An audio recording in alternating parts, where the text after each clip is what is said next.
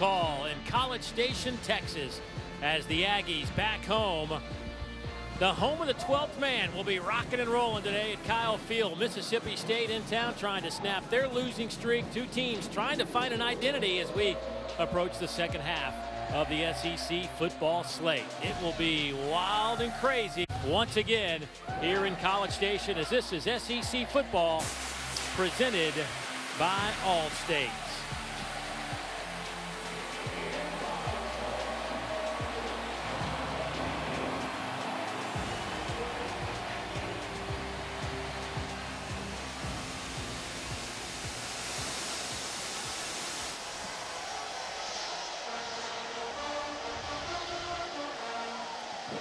Pleasant good afternoon, everybody, and welcome to College Station in Kyle Field. I'm Dave Neal. This is former SEC championship quarterback from the University of Georgia, DJ Shockley. And DJ, here we are, middle of the season. These two teams still trying to find kind of an identity. You look yeah. at Mississippi State; they've lost three straight. Meanwhile, Texas A&M, it's been a win one, lose one type situation throughout this season as these teams kind of look ahead, this is a really big game for both these clubs. This is so important on so many levels. Both teams have a lot of young guys playing in this ball game.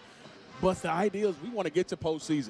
And you have to get to postseason. You have to win this ball game today. That makes this game just as important as any they played all year because they want to get these guys experience playing in the postseason. Anybody that follows college football and SEC football in general knows the name Kellen Mond. He's been quarterbacking the Aggies now. He's 18 and 10 as a starter. But we talk about identity, and Texas A&M still kind of searching for that. And, and, part of that is the fact that Kellen Mond's been more involved in the run game. Yeah, he's had to. You, think about the last three games, Kylin Hill, his production has been down. So Kellen Mond has had to put a bulk of this offense on his shoulders. And it's a fine line of what Jimbo Fisher, the play caller, has to do with Kellen Mond. You don't want to run him too often where he could possibly get hurt, but you also you need him in the run game to get this offense going while Kylin Hill, you hope, gets going. Well, while Mond makes his 29th start of the season, we've got a young man that is just uh, breaking into SEC football. Garrett Shrader, the true freshman, getting the start now for Mississippi State. And much like Kellen Mond, he's a guy that can do, do a number of things at that quarterback position. Yeah, him himself has had to put a lot of things on his shoulders as well. This was a point in the ball game where he earned a lot of respect of his teammates by the way he is fearless with his body. He goes after it. He wants to be tough. He's a, a downhill kind of a tough guy. And they expect Shrader to put a bulk of this offense on his shoulders as well today.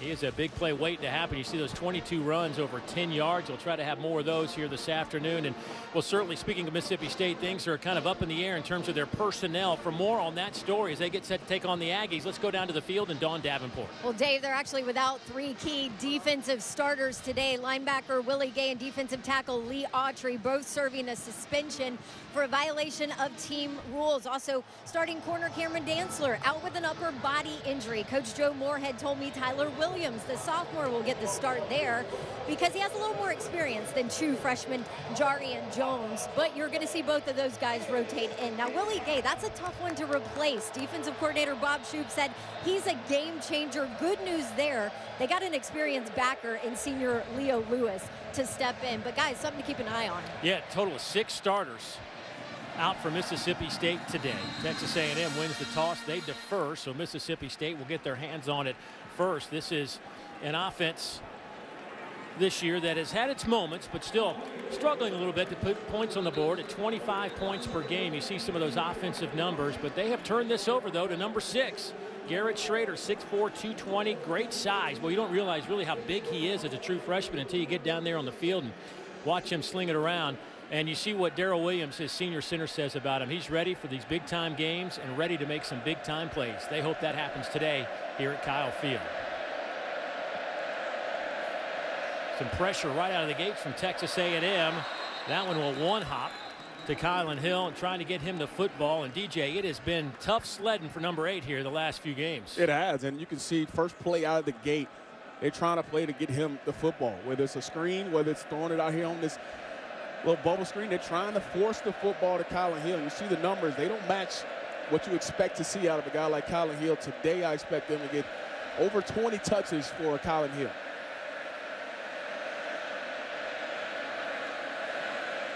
They'll toss it to Hill, working the left side, gets a couple of yards. Hey, well, there's a great matchup today we're going to keep an eye on. And Daryl Williams, who is just an outstanding football player, the senior center for Mississippi State. Allowed just one sack since the start of 2017. He's going to have his hands full today with Justin Madubuike in the middle of that Texas A&M defensive line. Those are two awesome players to watch. Yeah, and he talked about how he scouted these guys coming to this ball game. So see if the scouting report works. They're going to definitely need him to play really good on the inside of this Mississippi State offense. Third down. Let's call it eight. Shrader hit. Loose football. They're going to say incomplete pass. Pocket collapsed immediately on Shrader. It'll be fourth down. Aaron Hansford, first one there. Yeah, he comes from right in the screen right here.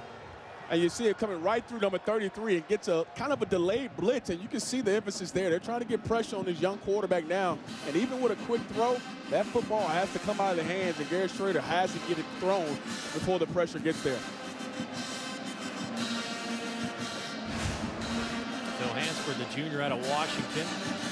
Coaches told us we'd see a lot of him on third down. And we just got a good look at that. Jace Christmann with the punt. Ainias Smith back to return it. Makes a man miss, and he'll get it out over the 30-yard line. A 49-yard punt and a four-yard return.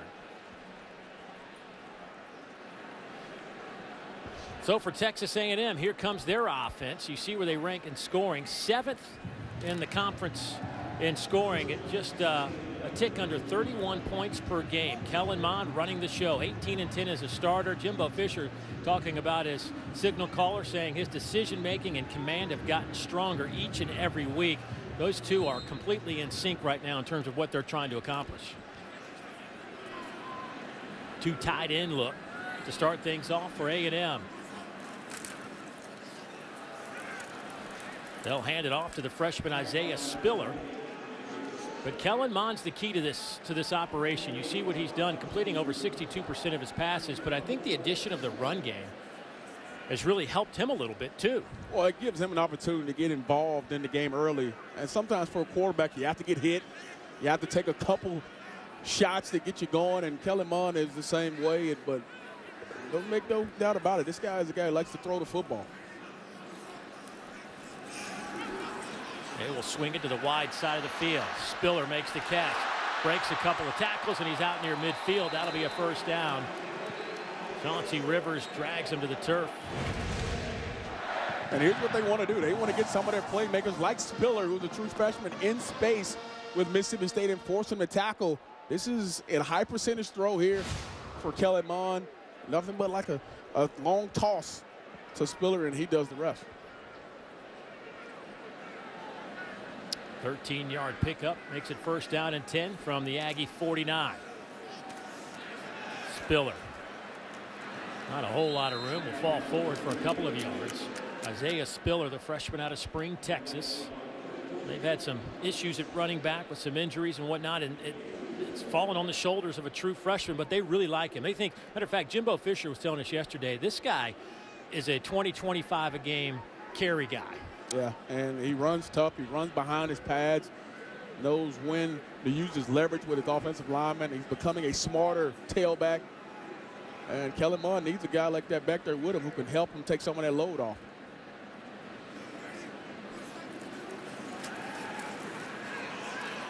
Pass caught. Cameron Buckley making the reception only picks up a couple of yards so now it'll be third down. Brian Cole the safety on the stop for the Bulldogs. Defensively, Mississippi State giving up over 28 points a game. That is uh, 12th in the conference. A little bit under 400 yards of total offense, but you know I think both these teams really have been fighting it in terms of who's going to be there every Saturday. What kind of lineup can we throw out there? Yeah, Dawn mentioned it in the open. There are a bunch of guys who are not here playing today for Mississippi State, and the same for Texas A&M. Which guy's going to step up to the plate and make a big play for them? Sell Mississippi State sells out defensively. Pass is incomplete. Ausbon was the intended target. Jarrian Jones, the true freshman, making the play. Yeah, Mississippi State goes cover zero blitz. Bring everybody. You have one guy that's unaccounted for. They have an opportunity to complete this football, but no separation on the outside. And a nice job by Jarrian Jones, who Dawn talked about was going to come in here and play in replace of Cameron Dantzler. Does a great job, a really good job on that play. Braden Mann, the reigning Ray Guy Award winner, averaged 52 yards a kick last week, averaging just shy of 50 per punt this year. Fair catch called for at the 10 yard line by Malik Dear. Each team's had a possession, nothing on the board. Back to College Station after this. SC lost at home to LSU last weekend. They're having to fight some of these uh, violation of team rules, suspensions. It's just been really tough to kind of get some continuity this year for Mississippi State. And that's why this game is so critical for, for them to play well. Shrader hit again, gets the pass away. And of course, the latest, you know, news the last 10 days, two weeks is that Rutgers opportunity. What are they going to do about a head coach? Joe Moorhead's name keeps popping up. We've actually, Dawn actually asked him the question point blank. Dawn, what was his reaction to that? Yeah, specifically, how did he communicate it with his team? He said that when the rumors first came out, some of the freshmen brought it up to him during one of their leadership council meetings early in the week, said he told them he's not going anywhere. Look at the young talent here. The future is bright. Dave, he said it's been a non-issue within the team for a few weeks now. Obviously, we are still talking about it. I don't think those things ever die until they hire a coach. Inside handoff goes to Kylin Hill. Buddy Johnson, the middle linebacker there to meet him. Maybe a yard on the play. But you know what helps all this stuff that's out there floating around, all the Winning. peripheral stuff? Yeah, exactly. and that's that's the equalizer. And it was interesting to hear he say some of his freshmen brought it up, and you got to think those are the guys that he's recruited to come here and say we're going to change our program. And he wants to see these guys succeed. So being open and honest with those guys is probably the most important thing, and hopefully these kids play for him. A&M going with a dime package on third down, and let's call it a long nine yards for the Bulldogs. Daryl Williams about to snap it right from the 10-yard line. Good clean snap. Four-man rush by the Aggies. Shrader, there's a flag in the backfield. Shrader running around trying to pick up the first down. He does have a lot more out to the 35. A heck of a run, but this one might be coming back. 25-yard gain.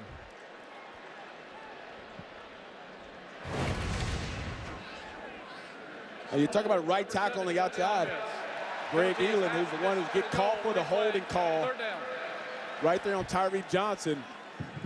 More quicker guy from the outside. Rushes, beats him to the inside, and knows his quarterback is still inside the pocket. Grab that shoulder pad. Lucky for Memphis State, he wasn't in the end zone. But it negates a big run from Garrett Shrader.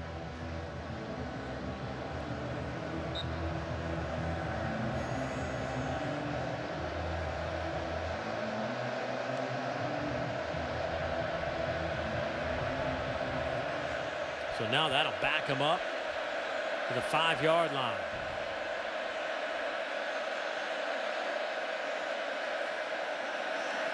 Here's Hill.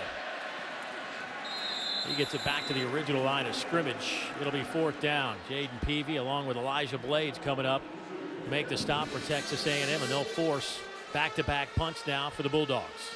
Well, those are the type of drives that hurt you from Mississippi State. When you get some positivity going with your quarterback, maybe that was something to get him going. You get the holding call, and now you're backed up. Texas A&M looking at great field position. Ideal start for Texas A&M and their defense.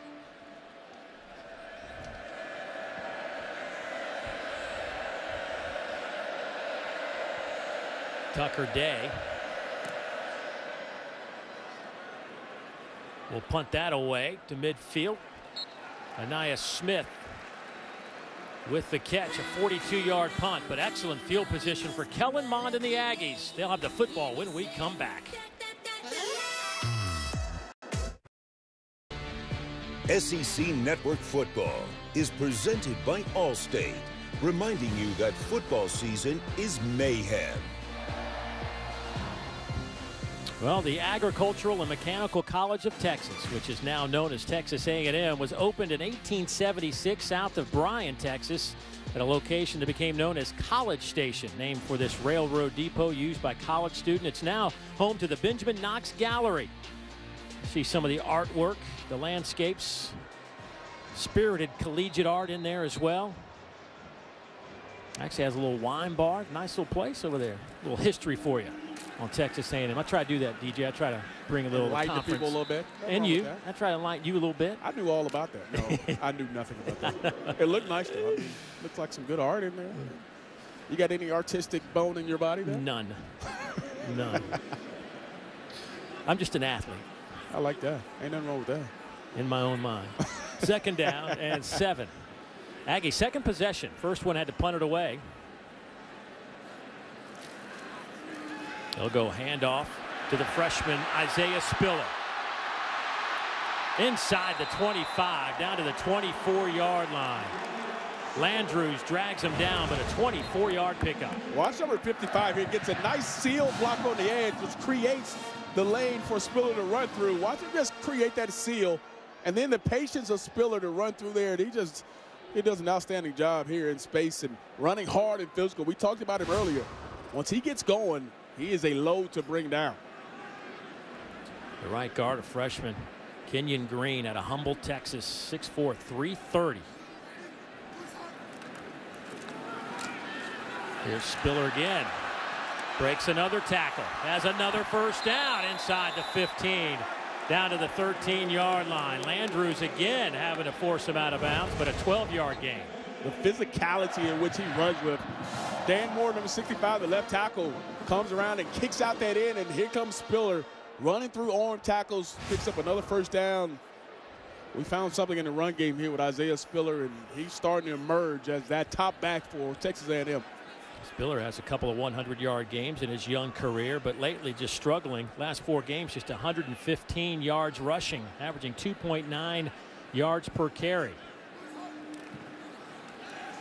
First down throw from Mon coming near side. Jalen Wydermyer. He'll be knocked out of bounds at the one-yard line. A gain of 11. And watch Wydermyer put his head down, trying to get it. Does he get that ball over the pylon? That's really close there. Texas A&M's going to hurry up and go, though. They'll hand it off. Spiller flagged down on the other side of the field. In the end zone. Well, that's 30 yards away from the Offsides. from the football. Offside on the defense, number 41, lined up in the neutral zone. Penalty is half the distance to the goal. Replay, first down. I still wonder if Wydermyer got in the end zone on that RPO run that he had to catch Please and throw. reset the game clock to six minutes, 59 seconds. Six, five, nine. Thank you.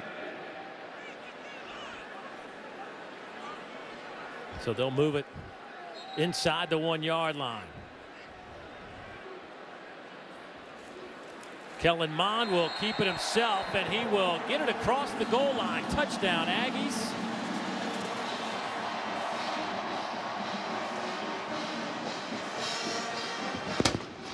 The fourth rushing touchdown of 2019 for the junior quarterback. Capitalizing on the great, great field position that they had there. Takes it down the field, makes a running pass. Spiller was big on that drive, and Mon caps it off with the QB sneak.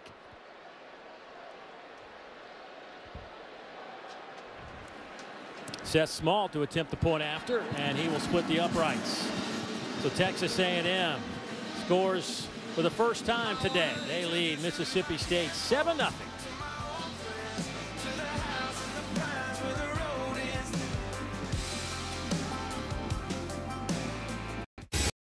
Nothing Texas A&M out in front of Mississippi State.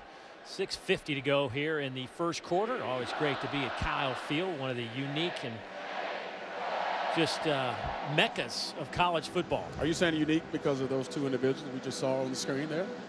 Yes. Jimbo Fisher, of course, national championship in his back pocket back in 2013, trying to get this headed in that direction now in his second season. One of five active head coaches with a national championship to his credit. He and Kellen Mond have uh, they've become attached at the hip a little bit. These two guys.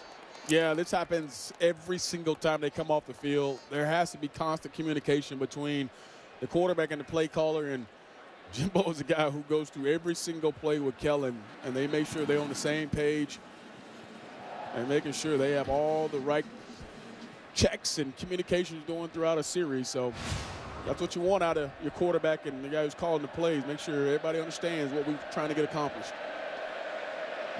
Nick Gibson in at running back now for Mississippi State. He'll get the handoff here, and he'll take it out close to the 30-yard line. One of the things that Jimbo Fisher said about Kellen Mond how much he was impressed by the fact that they could have a 10, 11 play drive, and he can remember every single play of that drive, what the defense looked like, what kind of formation they were in. So it's easy to talk to him about a drive and what he saw. He's a smart guy, uh, but I know as a quarterback, you want to make sure you know exactly what the coach is going to ask you when you come off. Good run there by Gibson. Blades pushes him out of bounds. He'll have a first down and a gain of eight. And we talked about it in the open. Garrett Shrader needs a run game, whether it's coming from Kylin Hill or whether it's coming from Nick Gibson. They have to have some semblance other than just him as a runner to be successful on offense. And you see they start this drive off with a couple good runs. Shrader starts today 0 for 3 throwing the football. Had a nice 24-yard run nullified by a holding call by right tackle Tommy Champion. Shrader dancing around, nowhere to go, and he may have lost a yard. Madubuike led the way. Big 5-2 in the middle of that defensive line. Boy, he's some kind of athlete. Yeah, he is an athletic guy from the inside standpoint. Gets off a block, but I think the counter for Mike Elko, the defensive coordinator for Texas A&M, versus this Mississippi State style offense is they're going to add another guy to the box almost every time they're in this bunch or tight formation. See defense coordinator Mike Elko there. But they walk a safety down almost every play to help in the run game. Shrader. Boy, doesn't have any time to throw the football. Just gets out of bounds and is pushed out of bounds, and that'll be a free 15 for Mississippi State.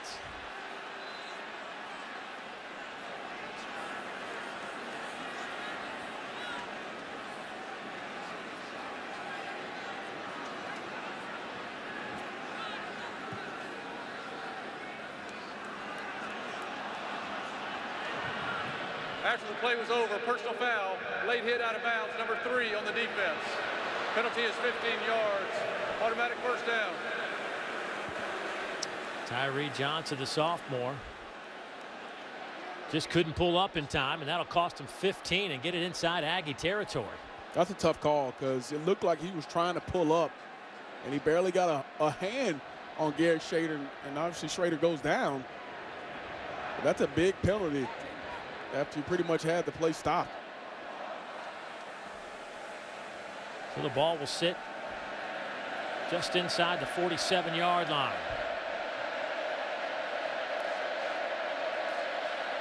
Shrader going up top, looking for a big play, can't hit it. It was there, and it falls incomplete, trying to hit Stephen Guidry.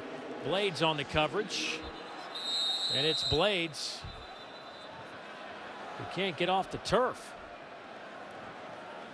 Well, this would be a big hit to Texas A&M if Blades is unable to come back in this ball game. Was hurt for an extended time. He is one of their best corners, and talked about and they needed him on that back end. While they attend to Blades, we'll step aside. Timeout on the field. Back in a moment.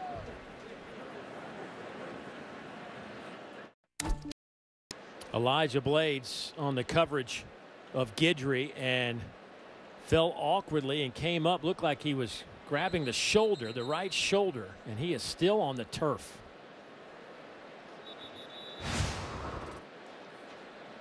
Elijah Blades, they consider their best cover guy, has three tackles today. The junior is a junior college transfer out of Arizona Western College, four star junior college recruit.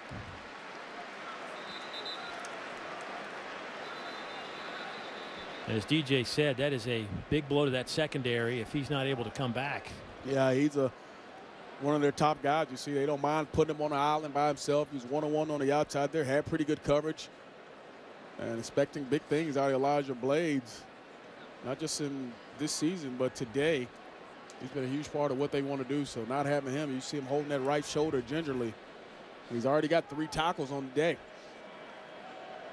So you wonder if Joe Moorhead will go right at that spot with his young quarterback Garrett Shrader, out of Charlotte, North Carolina. Young man won back-to-back state championships in high school.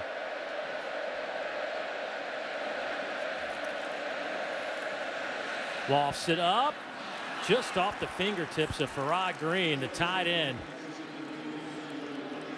Well, that was close. We talk about Madubuike in the middle. He's right here over the center. Watch the pressure that he gets right up the middle and forces Garrett Shrader to throw this football earlier than he wanted to. He is just tough to block on the inside. He almost got it off and could have been a big play, but when you have 0.1, 0.2 seconds to get the football off and the guy's right in the middle of that defensive front, it is tough. And you see the numbers early for Garrett Shrader are not good. They're only averaging two yards per play right now.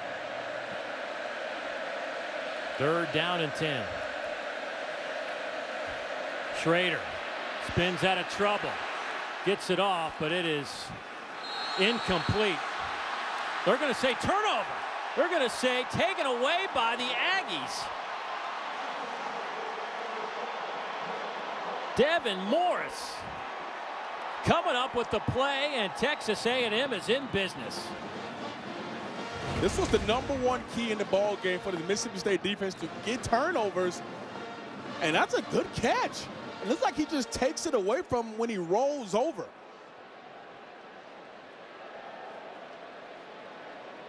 He just takes it away from Zuber. Zuber's on the ground with the football.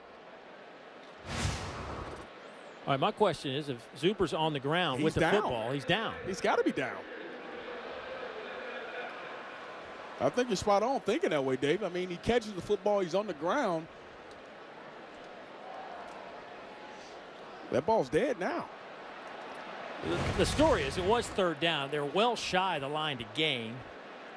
But you might be tempted where they are to go for it on fourth down. But was the ball bouncing off of Zuber? Was it that he did? Yeah, I think he's down there.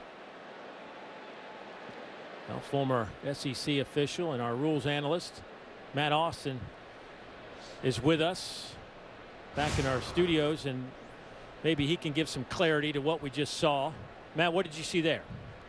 Yeah, Dave and DJ, uh, if he if the player the receiver is going to the ground, if he has firm control of the ball, you're exactly right. He would be down. But if he's bobbling it in any way and the defender gets in there and takes it away and rolls away with it, then it would be an interception. Uh, the replay officials got to look at a couple things here.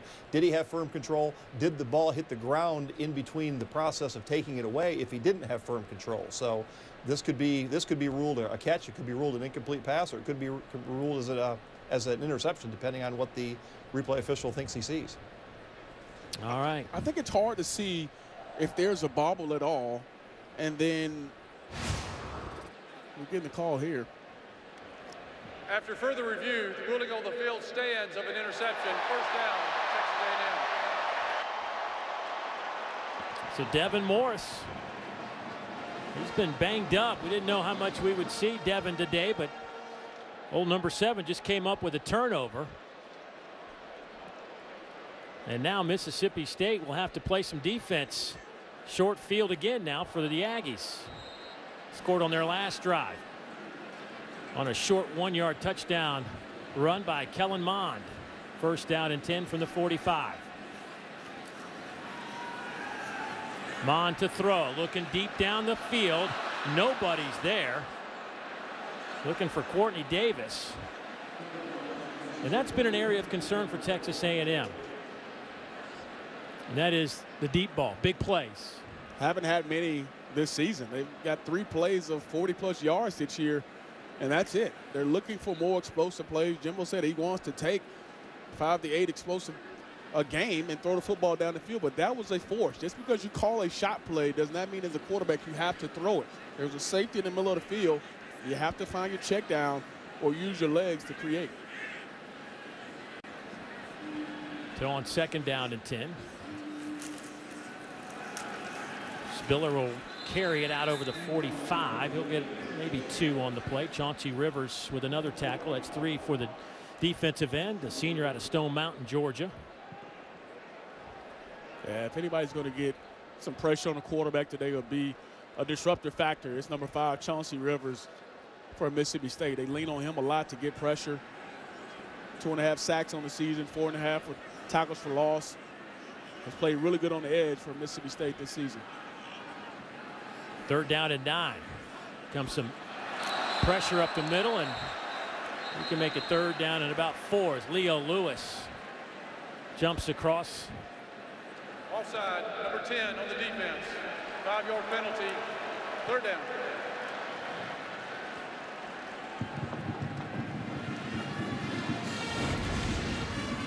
see both middle linebackers coming right through that A gap, looking to get some pressure and force that football out of the hands of Kellen Mond. But that makes it a lot easier call for Jimbo Fisher here, with it being third and four as opposed to third and nine. Mond, three out of five today throwing the football. Looks to throw it here. Pocket collapses. Will throw on the run. Pass is caught by Kendrick Rogers, and that'll be good enough for a first down at the Bulldog 43-yard line. A six-yard pickup. The patience you like here by Kellen Mond. Nothing was there initially. Going through his progressions, end up hitting Kendrick Rogers as he comes all the way across the formation. And now that third and four, that penalty on third down bodes well for Texas A&M. They pick up a key first down.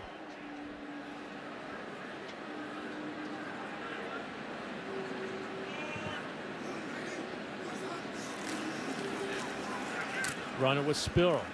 Spiller will break a tackle and lose a yard.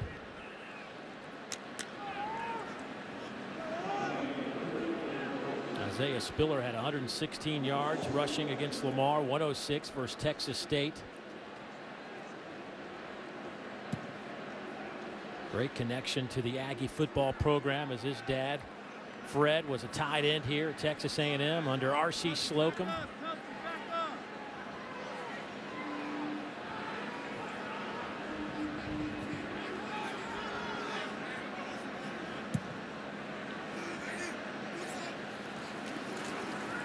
Mond's pass over the middle is caught by Davis.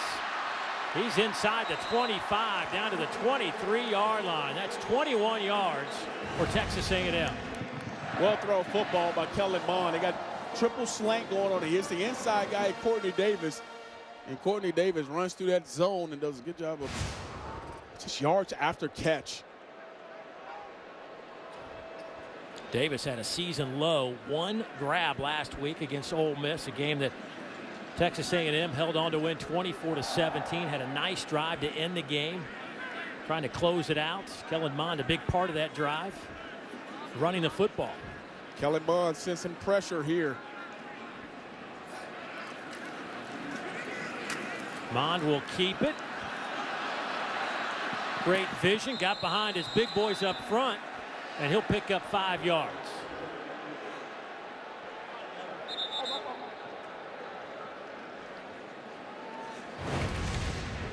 Isaiah Spiller here is the lead blocker for him. You see Carson Green out there as well, taking on Errol Thompson. Takes on a blunt of the uh, of the contact, but sometimes just being in the way is just enough. And does a good job of getting his quarterback on the edge. And now you got a second and medium with a quarterback that can throw it or run it. Under a minute to go here in the first quarter.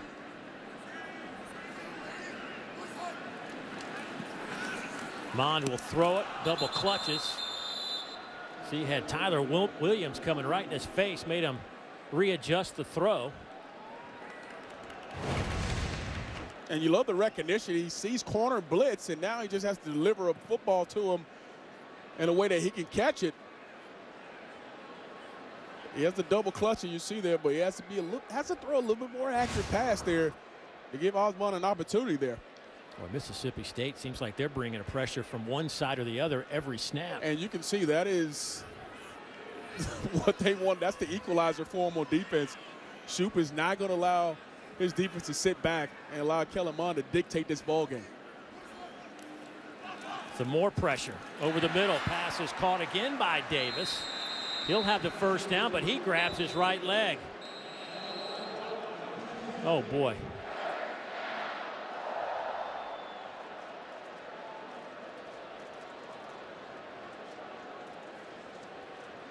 There have already been so many injuries on the defensive side of the ball for Texas A&M this season. Now you're losing one of your premier receivers, Quartney Davis, the junior out of Houston. Yeah, it looks like when he rolls over here, you see that right leg as he rolled over on him there to make the tackle. Is C.J. Morgan. Oh, man. It's a good sign, though, to see him getting up, walking off on his own.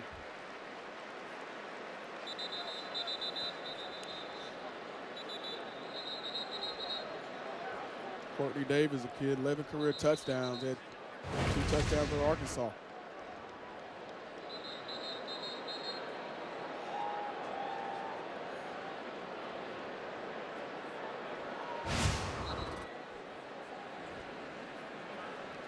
Kellen Mond, six of nine, 59 yards to start this game.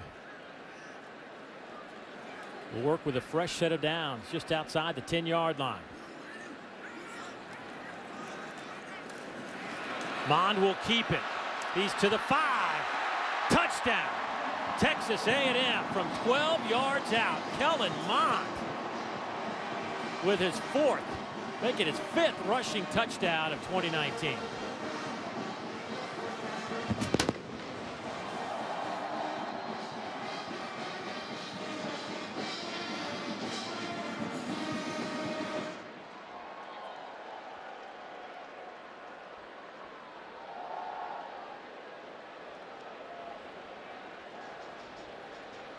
That was an efficient drive for Texas A&M.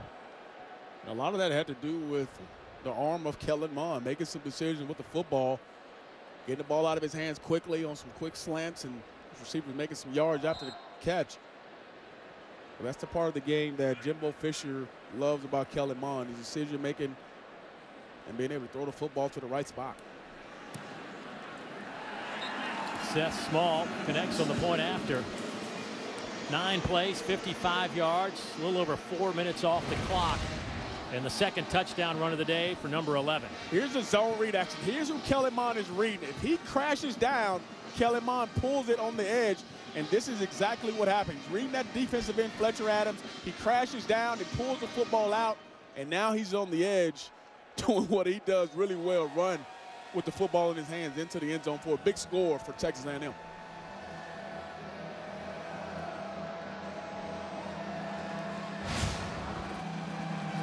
Touchdown lead here in the first quarter for Texas A&M. They're trying to win back-to-back -back games for the first time this season. They have been on a win one, lose one, win one, lose one streak since we started this year. I guess the good news is you haven't lost back-to-back -back games. Bad news is you, you haven't won back-to-back -back games.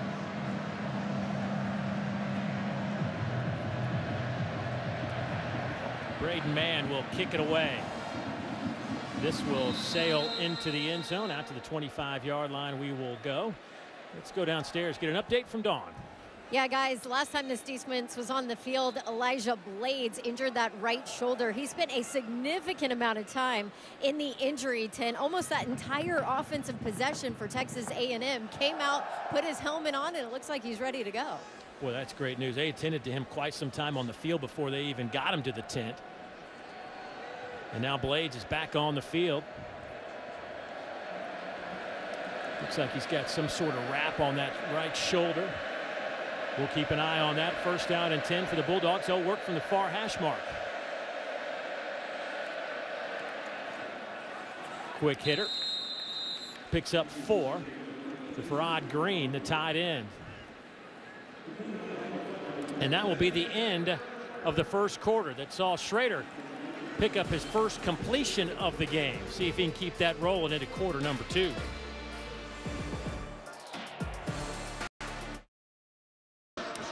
SEC Network Football is presented by Allstate as we get set for the second quarter as Texas A&M leads it 14 to nothing here at Kyle Field on a rather cool Saturday early afternoon in College Station. Joe Moorhead and his offense, he's just trying to find some off, uh, just some answers offensively. And this guy is considered one of the premier offensive minds in the country. Of course, two years in a row while he was at Penn State as the OC was the National Offensive Coordinator of the Year. Working with quarterback like Trace McSorley certainly helps things out, doesn't it? Here goes Kylin Hill. Breaks a tackle. It's a foot race. Hill is tripped up at the 35, and that's something Kylin Hill's been searching for the last month. And 36 a, yards. A matchup you like. Kylin Hill on Buddy Johnson. He's right there in the hole, and he runs right through the tackle of Buddy Johnson. And this is what Mississippi State needs. Kylin Hill to get going early. In the first quarter, three carries for eight yards. Now they're starting to create some lanes for him to run, and that'll open up everything for Shrader and its offense.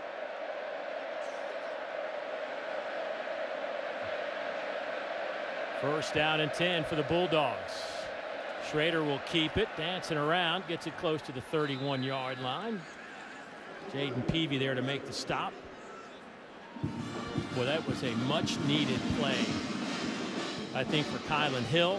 I think for Mississippi State's offense. It's a confidence builder for a running back that hasn't really had any production in the last three games to have a run like that. It may kickstart him into a big game today.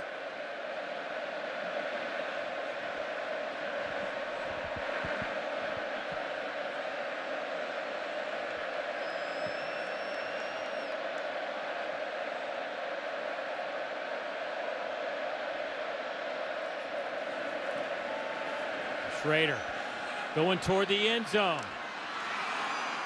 Touchdown, Mississippi State. Stephen Guidry with the reception, 32 yards. And the Bulldogs are on the board, and he beat Elijah Blades, who was slow to get up again.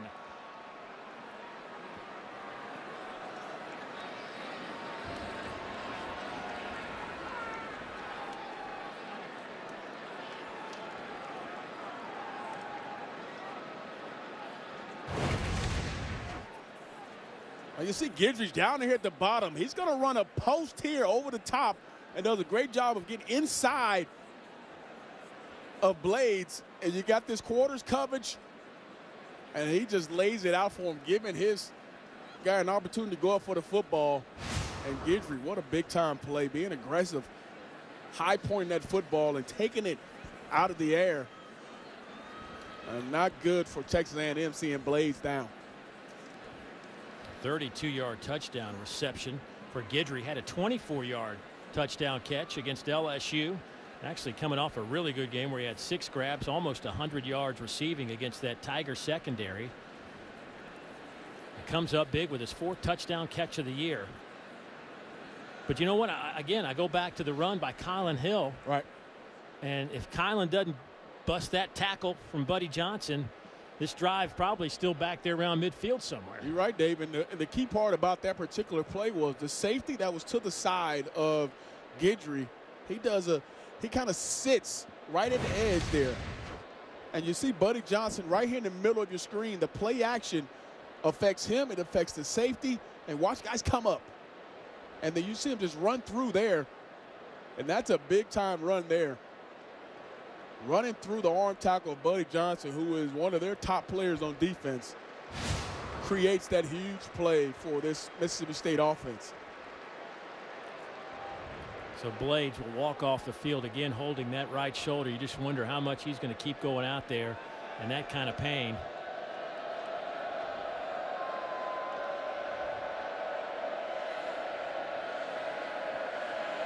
Jace Christmann to attempt the point after.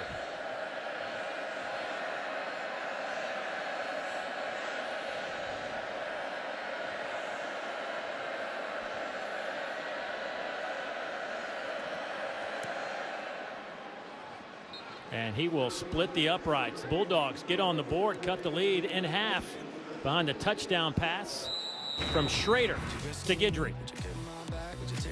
Bulldogs needed that one in a bad way. Got to fear the beard, right? Garrett Shrader. Dave, I'm waiting for you to grow a beard like this. Ain't happening, brother. What? Why not? Because I don't know that it? I could get back in my house. it's as simple as that. Uh, well, Shrader with his fifth touchdown pass of the season. He hits Stephen Guidry. Shrader was 0 for 6 to start this game, but his has hit his last two for 36 yards and a touchdown.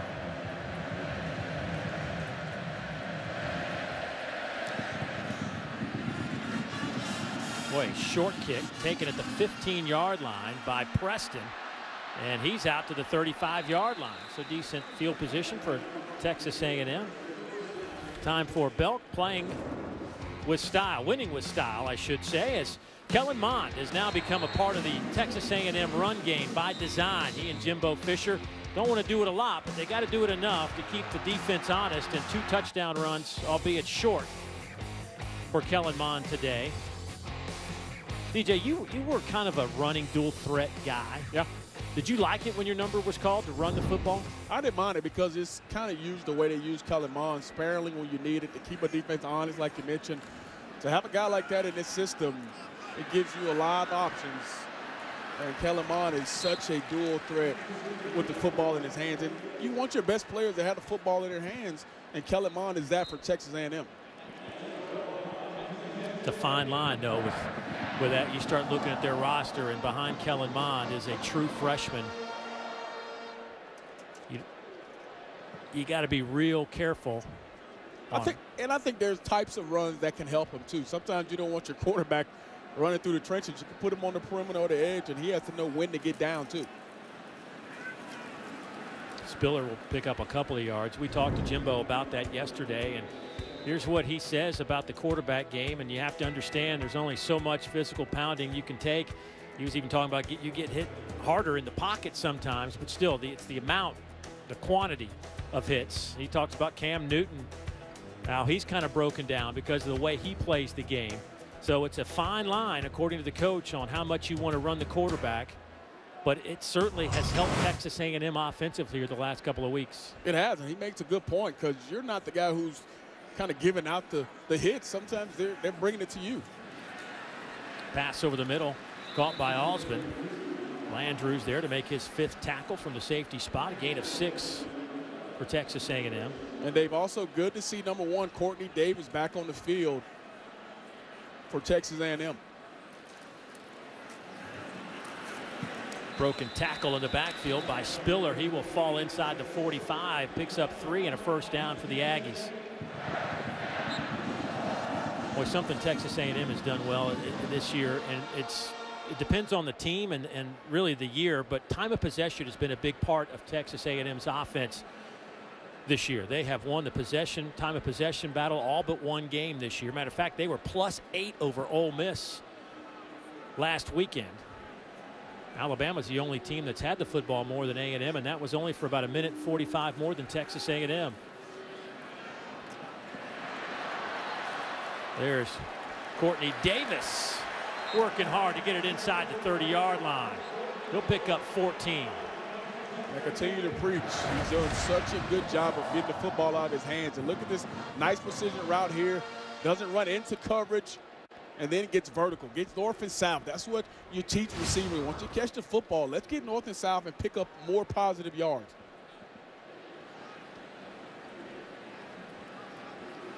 From the 29.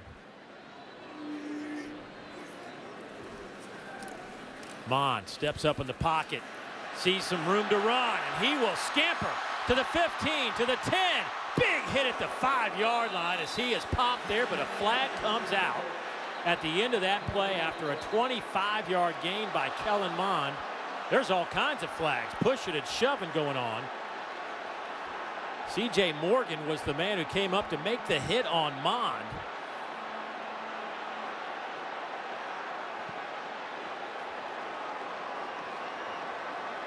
And Jimbo's going to be livid because this is probably going to be, it's going to end up offsetting. And they would have great field position there. But just an untimely, untimely penalty for Texas A&M coming after it looked like it was going to be on Mississippi State.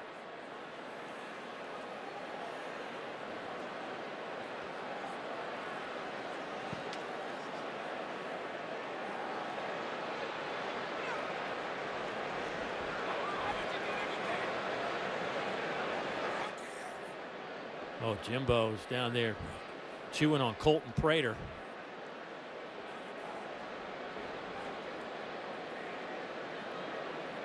Well, there's a lot to sort out here. Personal foul, targeting number 29 on the defense. That play is under further review. After the play was over, unsportsmanlike conduct, number 76 on the offense. That is number 76, first unsportsmanlike conduct foul of the game. See C.J. Morgan coming in there. He's the one who's called for the targeting penalty. And he, he hits Kellen Mond right under the chin. And the number one question is, does he lead with that helmet? And Kellen Mond's not a defenseless player. He sees him coming, he's running. Well, Matt Austin, our rules analyst, is standing by. And Matt, what do you make of that particular call? Well, the, defender comes in. It looks like he does lower his head, and it looks like he puts the crown of his helmet right into the chin of the quarterback. Now, there's also a lot of contact with the face mask. It looks like to the defender, or excuse me, the quarterback's chest. So what the replay official has to decide here is, is this an attack? Uh, is that lowering of the head enough to have the indicator? And is there um, forcible contact to the head neck area? So I, I, this is going to be unfortunate, but I have a feeling this one's going to be confirmed. C.J. Morgan is six foot tall. Kellen Mond is six three. If he's coming in to hit him, his helmet's going to be right below where the helmet strike zone is. So I know if I'm C.J. After Morgan. further review, there was no targeting on the play. The 15-yard unsportsmanlike conduct foul on number 76 will be enforced. Well, that's a win Let's bring Matt back in. Yeah, I, I, think what the replay official saw there is what the contact was with the face mask to the chest, and it's unfortunate there was a little contact to the to the helmet, but I think the main contact was in the chest, and I do think this is a, a good call. I think the defender was just playing football, trying to make a good hard tackle, and unfortunately he got a little high, but I don't think it rises to the level that he should be ejected. So I think this is a good overturn. And that, was, that, was, my thinking. Uh, I love the fact that they would go back and look at it and be able to overturn that because there's no reason he needed to come out the football game. He was trying to just make a tackle. But I tell you what, you know who loses in that whole situation is Texas A&M. They yeah. were down to five-yard line, and the 15-yard penalty max backs them up to the 20. Yep.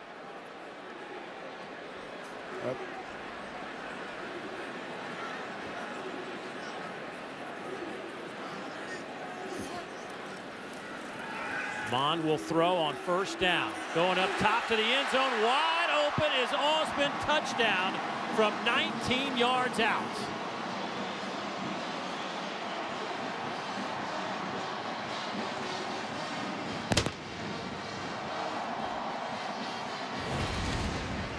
Jhamon Ausbon, first off the release. He does a good job of getting off that release, and they're playing cover two, and just a well-thrown football he tried to get hands on Ausbon there, but he just throws a high angle corner route to that back pylon, and not much Mississippi State could do there. Point after is up and good, and Texas A&M didn't waste any time. They may have lost on the penalty situation, but they definitely won on the first play after that sequence. As Kellen Mond strikes for the 14th touchdown pass of the season, Jhamon Ausbon, his old high school roommate on the other end.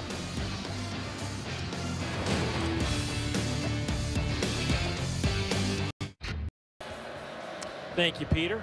Here, Texas A&M out 21-7 on the Bulldogs of Mississippi State. Kellen Mond, Jhamon Ausbon connecting on that last touchdown. His man will kick it away.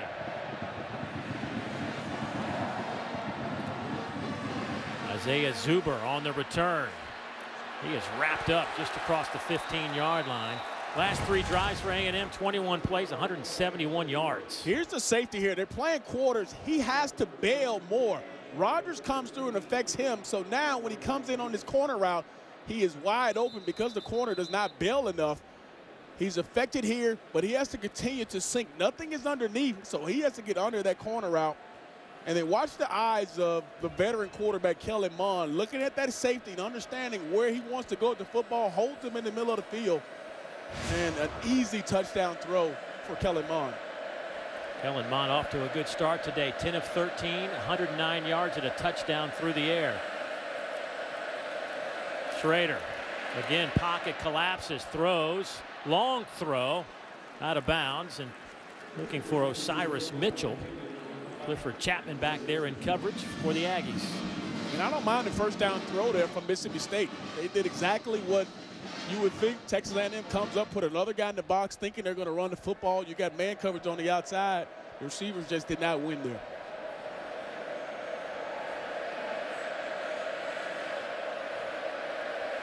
Kylin Hill, four carries, 44 yards today. He stands to the right of Shrader. They'll give him the football on this possession, and he'll get it out over the 20, but it'll be a third and long situation coming up for the Bulldogs. Texas A&M being stout in the middle. Not a BK, Bobby Brown, those guys in the middle have really been stout up front. But here comes the third down, and the, what do you want to do if you're Mississippi State throwing the football? Haven't had a lot of success throwing the football down the field. You have to give Garrett Shrader some time. Third down and seven.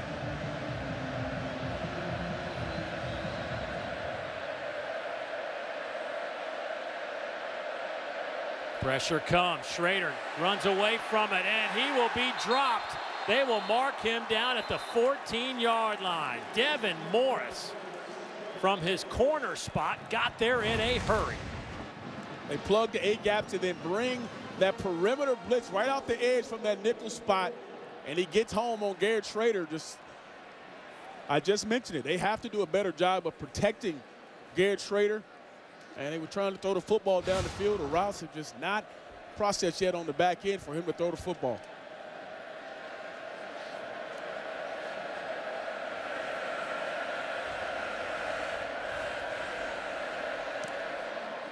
Low kick. Tucker Day will get a favorable bounce. It'll stop around the Aggie 43 yard line. Wasn't pretty, but still 43 yard punt. Hey, coming up, 4 o'clock Eastern Time, week nine of the college football season continues on right here on the SEC Network. South Carolina taking on Tennessee at Neyland Stadium. And then tonight, our SEC Saturday night matchup, Missouri taking on the Cats in Lexington. Well, anxious to see how Missouri responds to that loss last week. They were sitting pretty in the SEC East and just laid an egg in yeah. Nashville last week. Missouri has struggled on the road 0-2 this year, 5-0 at home. Going on the road again versus Kentucky. See if they can get Lynn Bowden going on offense for Kentucky. First down and 10 from the 43-yard line. Mond, quick throw near side. That one's to Davis. We'll get it close to midfield. A&M has scored on three consecutive drives. Another really good decision from Kellen Mond. They go RPO action Linebackers tucked inside, so he throws it out to the bubble to Quartney Davis. And now look where you are on second down. Favorable for an offense to do whatever you want with it as Mississippi State has a guy down on the back end. Looks like Brian Cole on the back back end for Mississippi State. Well, I don't know how many more injuries they can stand at Mississippi State. They're running out of bodies. Back in a moment.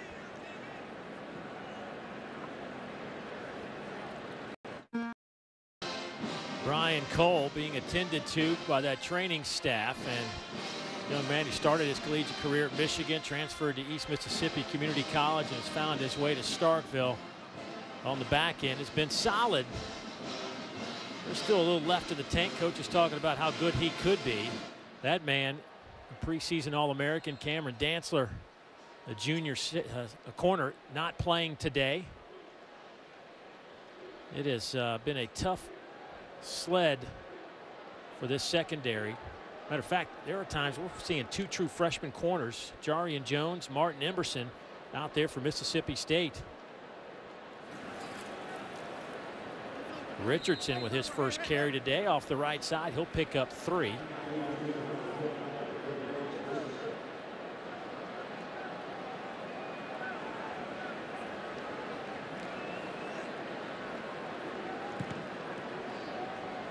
Texas A&M in no hurry today. This is a interesting spot on the field for Jimbo. It looks like a lot of interchange going on and Texas A&M trying to get the right crew on the field. Uh, this is the day and age. Third and one, and you got five wide on the field. On third down and short, Mond hit as he throws. It's incomplete. Well, that pocket collapsed in a hurry. Fletcher Adams got there to put the hit on Kellen Mond. Comes right off his right edge here. They bring the blitz from Errol Thompson.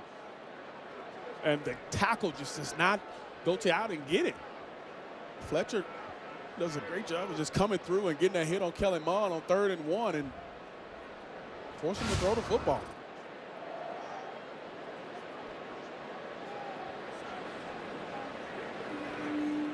So Braden Mann back to punt for the Aggies.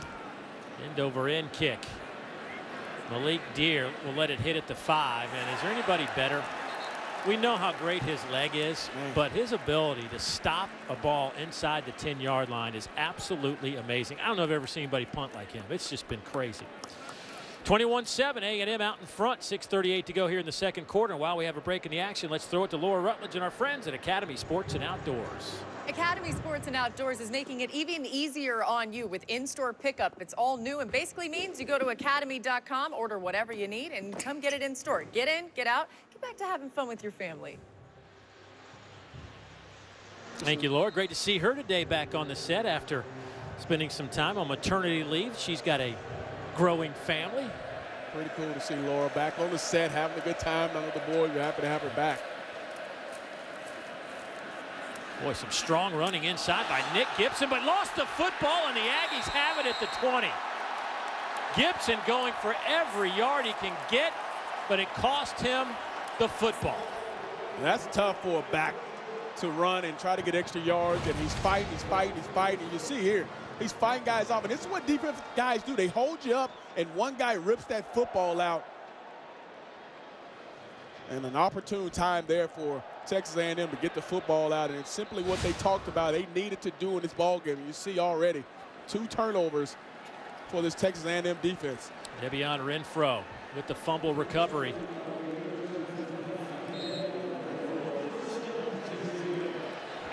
Richardson rips that thing out of there. Boy, another youngster for Texas A&M, a true freshman making a big play for the Aggies, setting up their offense here. They'll run it off the right side with Isaiah Spiller. He'll pick up three. Spencer with his fourth tackle for Mississippi State. Boy, Nick Gibson fumbled last week against LSU. Matter of fact, that fumble by Gibson last week against LSU snapped a streak of 489 consecutive carries without a fumble for Mississippi State. Now Gibson's turned it over twice in consecutive weeks. Second down for the Aggies. Split Spiller out in motion. Pass over the middle, incomplete. Looking for Davis as Mond was wrapped up again in a hurry. Boy, that pocket just collapsing quickly right now. And you see who came in and got the hit, who we just saw go out the ball game last series is Brian Cole right off the edge here, timing up the blitz just right, coming off the backside of Kellen Mond. He gets the football off, but you can see defensive coordinator Bob Shoop is not sitting back for Texas A&M. He is coming today. So now third down and seven. Split two receivers to each side. Spiller in the game to the left of Kellen Mond. Looks like more pressure. Oh, they're bringing it. Everybody, it seems like. Aggies pick it up. A couple of broken tackles for Rogers. Still on his feet. Touchdown! Oh, my goodness. What a run from Kendrick Rogers.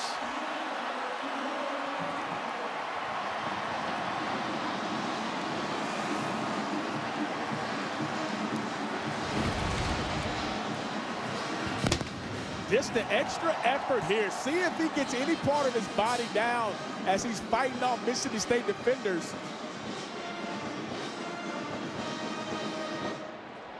Oh, it looks like that. I think his right hand on the backside of his hand goes down as he fights here. Watch now his right hand. Right here as he rolls over to push himself off the ground. There's that right hand. The backside of it touched the ground. But incredible effort from Kendrick Rogers. Incredible effort to try to get into the end zone. Bulldogs selling out again defensively. Aggies pick it up. And how about Kellen Mond standing in there, pressure coming down, they bring in extra defenders. Know he has a couple guys unblocked, stands in there and delivers a strike. It might get paid off with a touchdown pass. Waiting to see if this touchdown will be confirmed. And look at the backside of his hand right here as he tries to push off. You can see clearly there the backside of that hand touches the ground. And it's different from that left hand where he's pushing off. That backside of that hand is down. I think they're going to give him the touchdown. It looks like it. A 16 yard catch and run by Rogers as the point after is up and good and another seven on the board.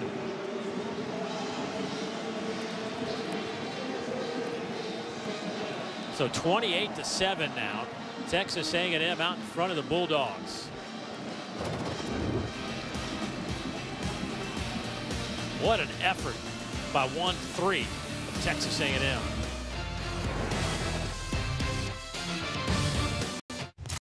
So I just noticed that. Chiz is Solid. all over. He's trying to get every space of that board. 28-7 Texas A&M. And let's go back to that last touchdown play and get some clarification from our rules analyst Matt Austin and, and why that was a touchdown. Matt? Yeah, Dave, the runner, when he puts his hand on the ground, or in this case, the back of his hand, uh, from a rule standpoint, the hand and the wrist are considered all one part of the body. So the back of the hand, the wrist being down, that does not put the runner down. So it was good officiating from the officials to let the play go, to see how it was going to end up so they don't end up with an inadvertent whistle. And it was a great job by replay to confirm. So that runner was not down. And also a great run. How about credit to No doubt. Rogers for an excellent run, staying on his feet and his hands to get into the end zone. Bulldogs need some big plays in a hurry here as we're getting late in the second quarter, just over 5.20 to go before halftime. A nine yard pickup to Osiris Mitchell. Haven't heard his name being called a lot. He is a big physical receiver on the outside. They got to find ways to get him the football as well, but plenty of time to continue to run the football. They'll try that here with Kylin Hill, and he's not going to go very far. Did he get enough for the first down? He only needed about a yard, and I think it was plenty to move the chains. Buddy Johnson in there to make the tackle. Well, here's the thing for Mississippi State's offense. They have to get a couple first downs. Their defense has been on the field way too much in the second quarter. They got to do some things positively to move these chains, change the field position, but just to give their defense a break.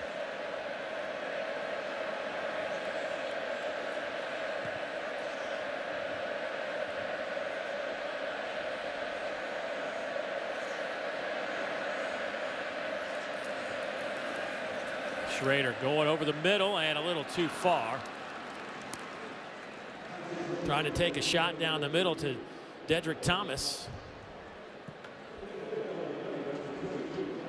They had what they wanted too, just an inaccurate pass there from Garrett Shrader. Love the matchup, but you see the numbers on the day for Garrett Shrader. Hasn't thrown the football well at all, and that bottom stat line of minus three yards does not look like the offense they've had the past few weeks where he's had to pick up the load.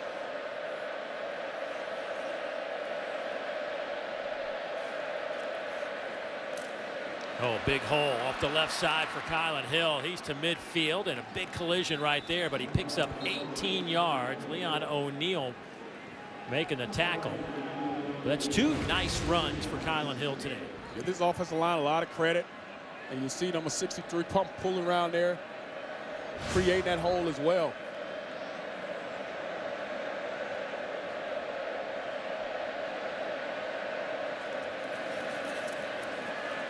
Ball was tipped and almost picked off. Clifford Chattman had his hands on it, and that was heading back to the end zone if he maintains possession.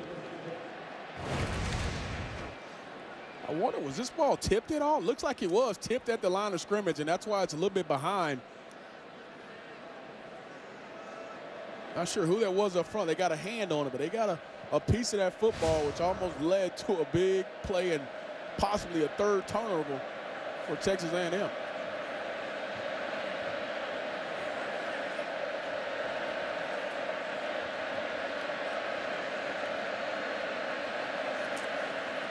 Aggies bringing some pressure. Shrader makes a man miss.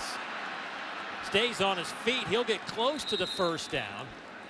They'll spot him at the 38. That'll be good enough to move the chains. Pressure came from Richardson, but Shrader avoided him. And defensive coordinator Mike Elko had the perfect call for this quarterback draw. Richardson, like you mentioned, had the pressure, should have made the play in the backfield.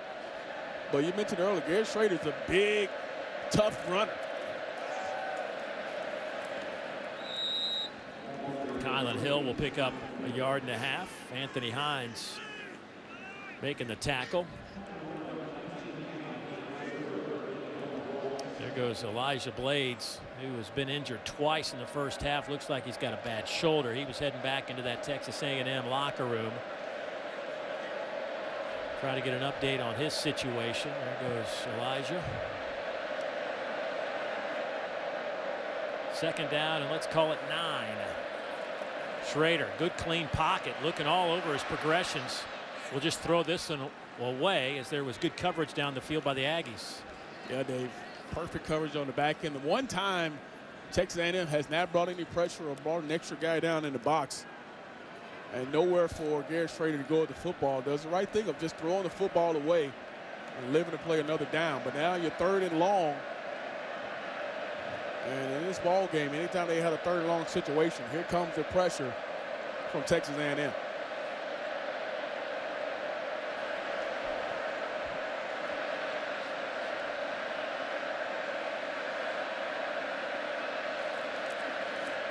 He'll run it with Hill. Breaks a tackle. Gets to the sideline, trying to pick up that first down. He might be just a bit shy of it. The line to gain was inside the 28. They're going to spot it at the 29.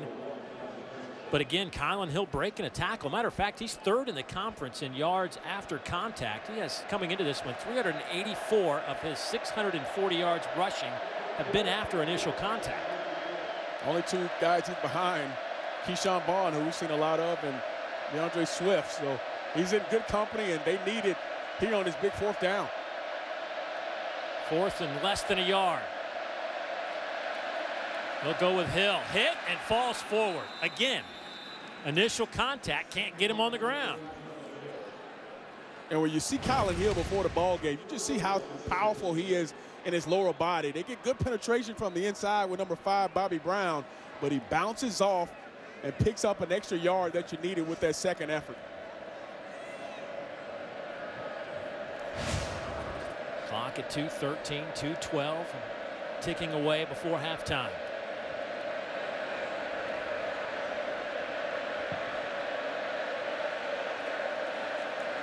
Shrader. Flags come flying, and Shrader is dropped back at the 37-yard line. Couldn't get rid of the football that time. He'll lose eight.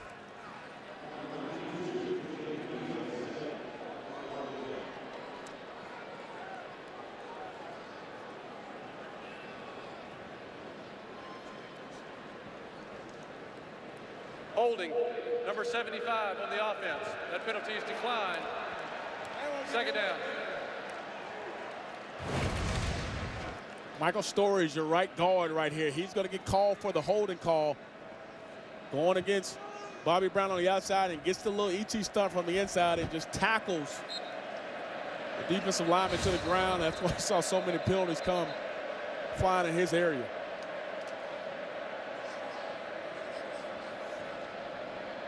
It'll be second down and 18.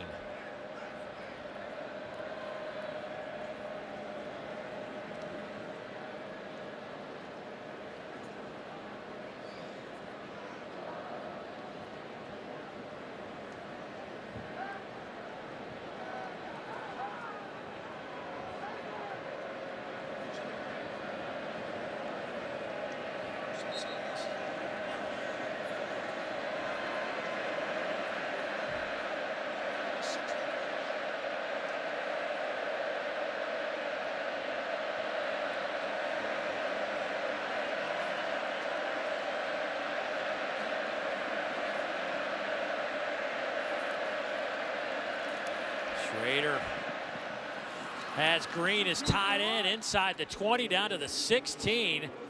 That should be good enough for the first down, and it is. There's a reason you're able to throw this football here. Look at Kylin Hill come over and pick up this blitz.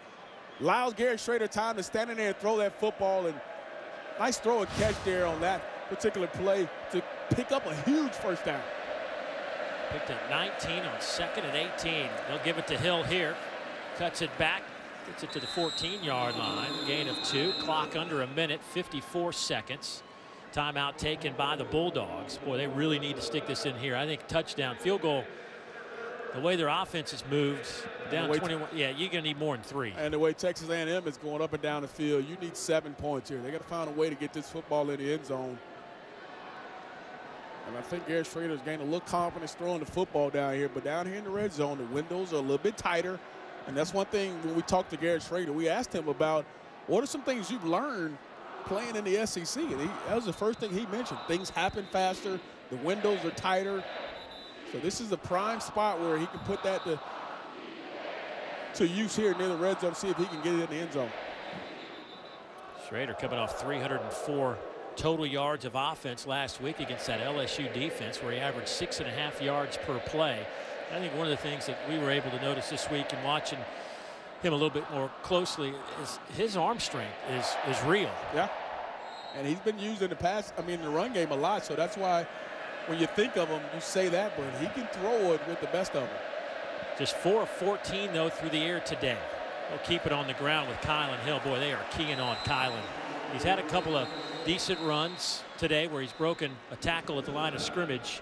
But for the most part, Aggies up front been all over number eight. Hey, don't forget Marty and McGee Wednesday, 7 o'clock Eastern Time, right here on the SEC Network and on the ESPN app. Nobody talks about the Southern culture better than those two guys. Matter of fact, they were over in Baton Rouge today, breaking down that Auburn LSU game, and saw they had our good friend Ben McDonald, Mr. LSU, yeah, on the set. Big Ben, outstanding pitcher and now outstanding baseball analyst for us here on ESPN. I talked to Marty when I get to see him every day, and I ask him, "You guys have a script?" He says, "Ah, there's a script, but I don't know if we stay to it." They do a great job. I'm sure it was fun down in Baton Rouge. Big gamers, Auburn and LSU today. Hey, how about Kansas State up 24-20? Oh wow! With just a few seconds before halftime in that one. Kansas State, a team that Mississippi State had a chance to knock off in week three. They lost 31-24.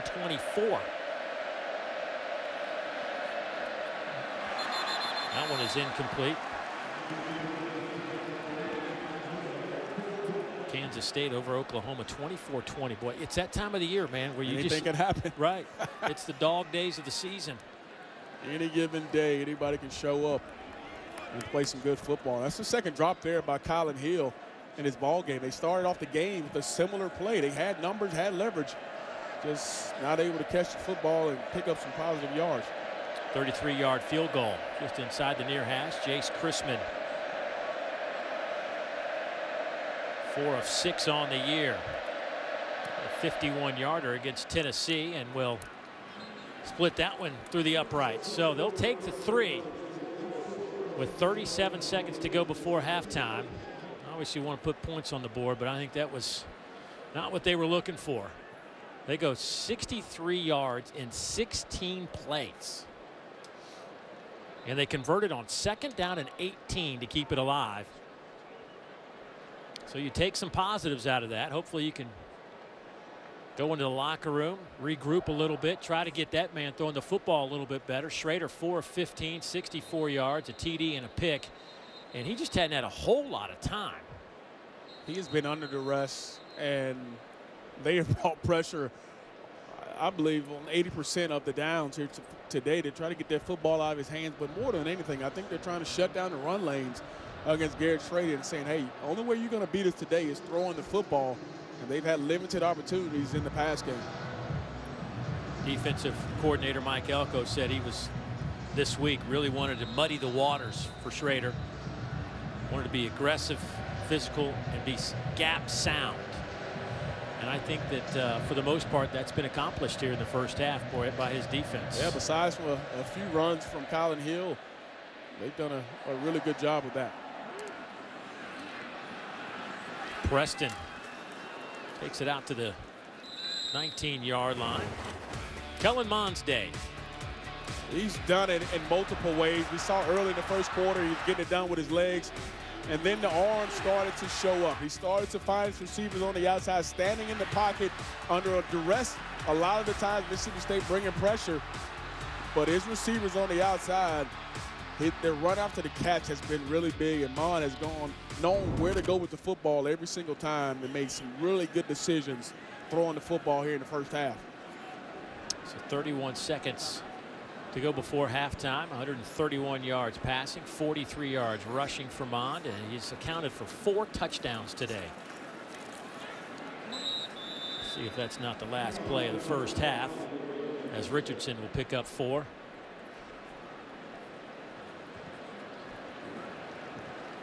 So Texas A&M trying to win back-to-back -back games for the first time this year. Meanwhile, Mississippi State trying to get out of this quagmire that they're in, having lost three consecutive ball games after a three and one start to the season.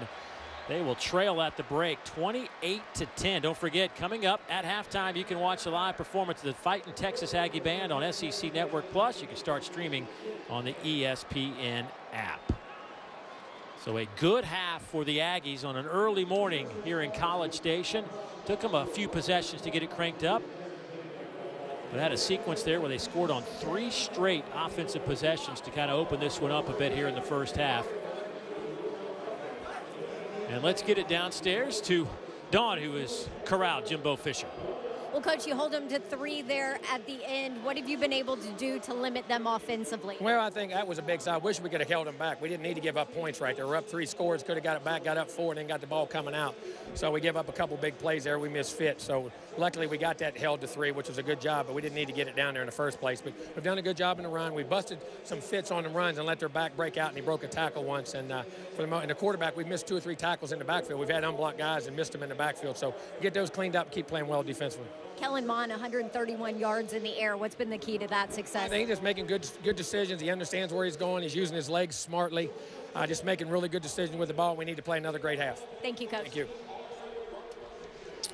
All right, thank you, Dawn. 234 yards of offense for Texas A&M. Good enough to put 28 on the board. They lead it by 18. With that, let's get it to the studio. Peter Burns, take it away. Thank you, Dave Neal.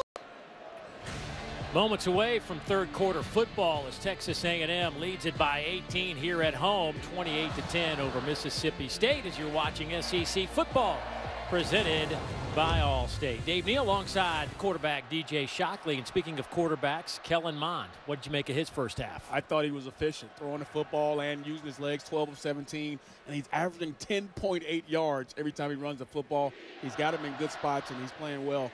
Uh, he has to continue that in the third half. I mean, second half. On the flip side, it's been tough for Shrader, but as we look at our mayhem moment brought to you by Allstate, part of the reason is he hadn't had a whole lot of time to do much. Yeah, defensive coordinator Mike Elko has done what we talked about, muddy the waters for Garrett Shrader. He's been hit multiple times. They're bringing pressure from all types of spots, and they're not able to run the football either. So uh, he's had a tough first half. They haven't done well on third down, haven't converted one yet, but he has been under tons of duress and I expect the same game plan from Texas A&M in this second half. They both these defensive coordinators today have decided to put a lot of pressure on quarterbacks. When you have quarterbacks of these caliber who can hurt you in both ways, you got to make them one-dimensional. Right now, Texas A&M is doing it with their legs and throwing the football, but Garrett Shrader has struggled in the pass game as well as trying to find something with his legs. 168 yards of total offense for Mississippi State, 234 for Texas A&M. Biggest issue for Mississippi State, though, is they got to convert some third downs. They're 0 for 6 today.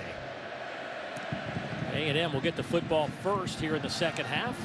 A short kick taken around the 10-yard line by Ainias Smith. Boy, a young man that they are real excited about as a big game breaker. Speaking of game breakers, we've got one on the sidelines. Let's go visit with her now, Dawn Davenport. Yeah, guys, simplify. That was the word at halftime for Mississippi State. Head coach Joe Moorhead telling me that defensively, you got to remember they're out three starters. They're playing a bunch of young guys on that side of the ball. He said we've got to make sure that our calls are simple, that they know what their assignments are. We've got to allow them to play confident and fast. So that's defensively. Now on the other side of the ball, I said, how do you get Garrett Shrader going? He said, we got to simplify that as well. Give him some throws he knows he can make, and our playmakers have to make catches for him. Yeah, they need a couple big plays to kind of spark that offense. But first, they're going to have to get the football back. Chauncey Rivers comes up to make the stop on Isaiah Spencer. And Marquis Spencer combined on that tackle. There's Isaiah Spiller, young man in the first half. Rushed for 53 yards, averaging 5.3 yards per carry. 5.1 yards after that last carry. Second down and seven.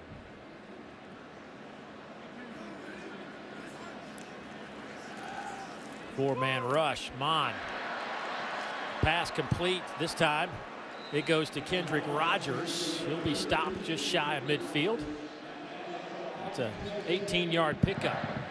There's Kellen Mond. Two pass touchdowns, two rush touchdowns today. First time in his career he has done that.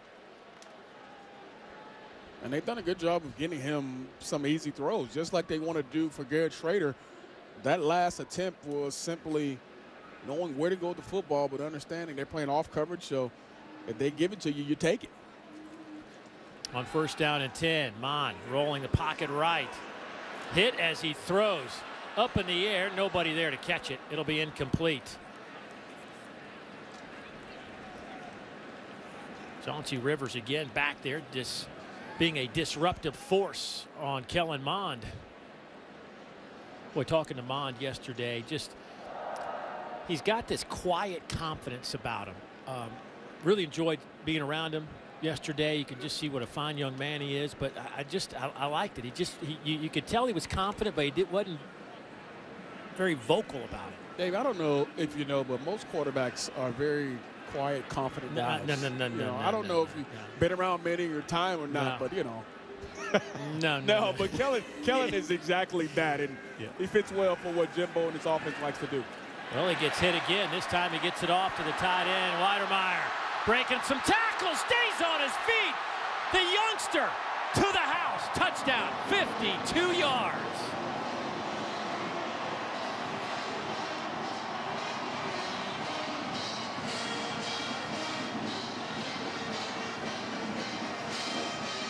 How is this guy a true freshman? That is a man. True freshmen are not made equal anymore. He comes over on his crossing route. Mond again with two guys in his face. Gets an accurate football to Wydermyer on the outside.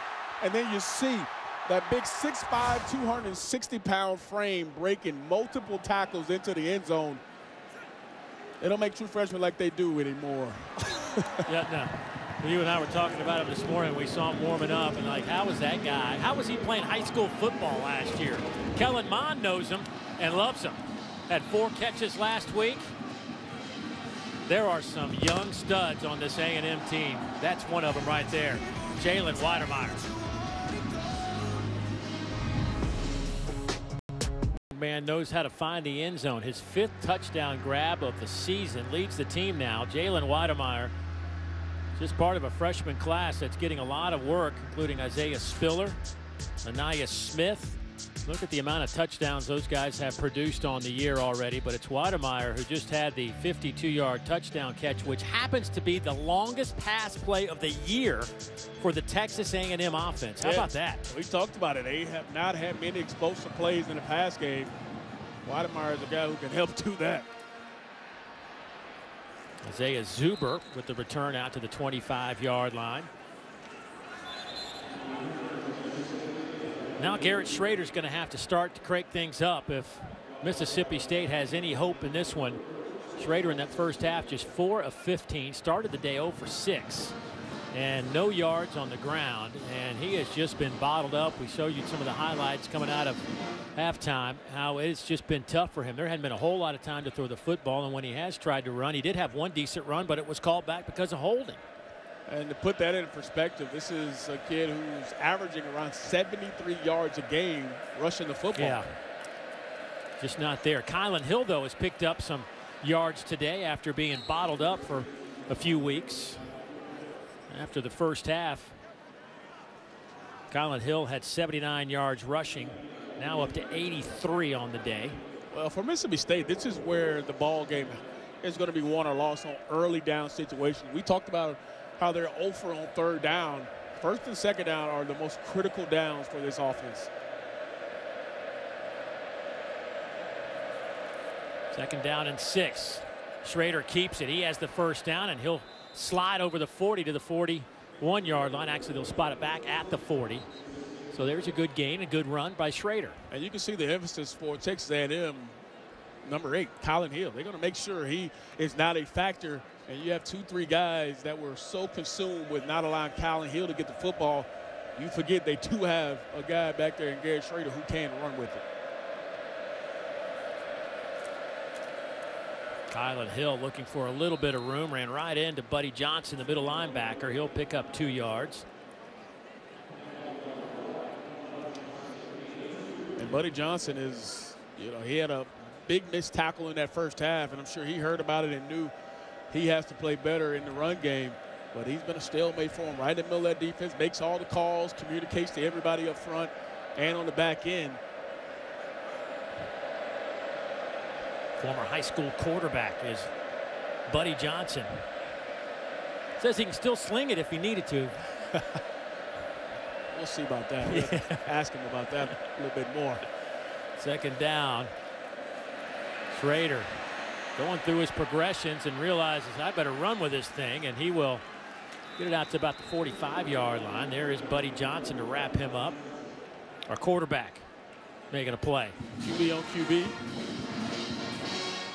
I thought there was opportunity for Shrader to throw that football on the outside. And I, I don't know if he's just not trusting it or he doesn't feel he can make that throw right now, but the confidence doesn't seem to be there throwing the football, especially outside the hashes for Garrett Shrader. And here's a, a third down where his arm may be needed to pick up the key first down.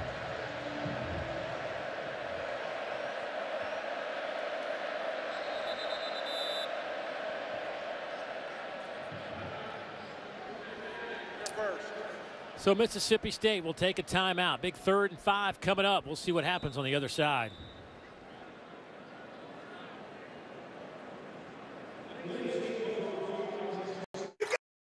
Network and on the ESPN app. Good vantage point for Kellen Mond. Hoping his defense can get him the ball back here. A third down and five coming up for the Bulldogs.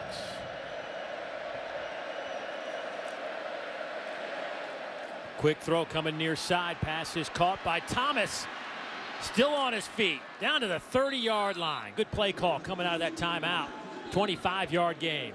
Joe Moorhead, Moorhead knowing they were going to come with pressure as they did, did a good job of getting that football out on the quick receiver screen. And you can see Thomas making something happen when he got the football in his hand. But that's what I like, getting the football out of Garrett Shrader's hand, knowing Texas A&M is a pressure-happy team right now. Good call on on third down. How about the first third down conversion of the game comes midway through the third quarter here for the Bulldogs. They'll go with Kylin Hill off the left side. Pick up a couple of yards. DeMarvin Leal, another true freshman. Boy, we've got so many freshmen on the field for both these teams. It's a glimpse of the future and this is good. A lot of those young guys getting some quality time in a big time game versus an SEC opponent. These guys have an opportunity to grow up really fast in this type of ball game. DeMarvin Leal is 6'4", 290. True freshman out of San Antonio, Texas. And here comes pressure again off the edge. Here they come. Bulldogs pick it up. Pass is caught inside the 15. What a grab by Thomas. And give some credit to Shrader on a throw. A deep out route on the outside here from Thomas. Stems him up inside and now creates that separation and goes up for the football, not allowing that football to, to get to his body. Nice throw and catch by Garrett Shrader and Thomas for another big conversion.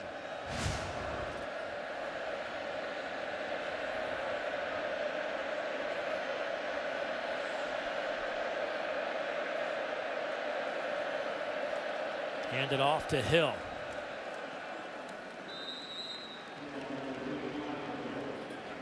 Richardson comes up to make the play.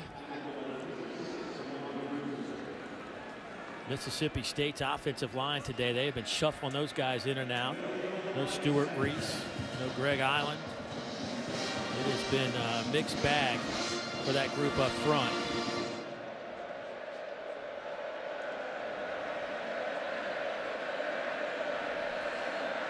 Again, six starters out today for the Bulldogs.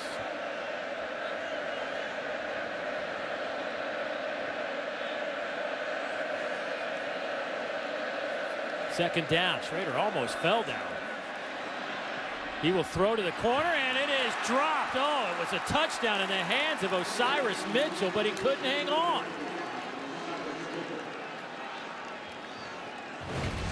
This is the type of plays you have to have in a ball game like this. this. Everything's going to be close. Everything's going to be contested. Osiris has to fight his way back downhill and attack that football. And you see, he just gets beat to the football on the back heel by O'Neal. Shrader could have left that out there a little bit more in front of Mitchell, but nonetheless, that's one the Bulldogs wish they could get back. Another Don, third down. Don said it. The receivers have to make some plays for him. He can put it outside a little bit more too, but those are plays you got to have. Joe Moorhead wanted to get a timeout, didn't get it. They'll drop it off underneath. This is going to be six for the Bulldogs.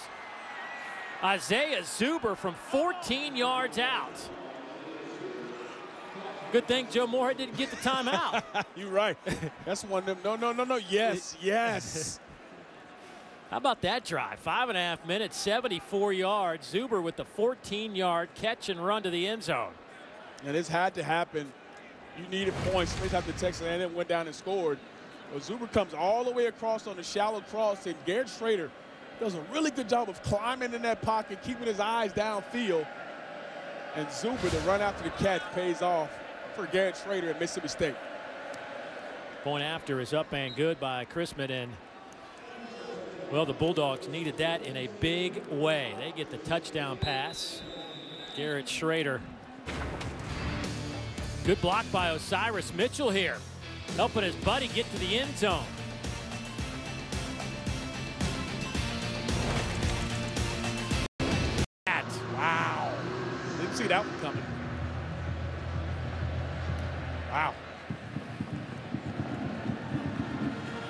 Short kick taken at the five-yard line. And the Aggies will have it at the 25. Let's get an update. Let's go down to Dawn. Dave, hits keep coming for this Bulldogs defense. CJ Morgan, safety, is now done for the day with an upper body injury. Remember, they're already missing Cameron Dantzler and Marcus Murphy back there, so they're playing two true freshmen at cornerback. Then they also have no Willie Gay at linebacker. Uh, they're just missing a ton of guys. And remember, Coach Joe Moorhead told me at half, you know, we got to get them some confidence. Obviously, that last Texas A&M drive not helping with that, and this is a deflated-looking defense on this Mississippi State sideline. Yeah, they need something positive to happen. A good turnover might get them going in the right direction. We'll see if Texas A&M can keep it rolling offensively. They've had some, after their first two or three drives of this game, they've really settled in, been pretty confident in what they're doing. And Kellen Mond's been making some plays. And the best thing about it is Kellen Mond has been the decision maker who has pulled the trigger on a lot of different things in the run or the pass game. He's been good in RPOs. He's thrown the football accurately and used his legs when he's needed to. So when he's playing at that style and that level, it makes this Jimbo Fisher offense hard to stop. You saw Fletcher Adams hobble off to the sideline, the senior defensive lineman. Here comes some pressure off the edge by the Bulldogs.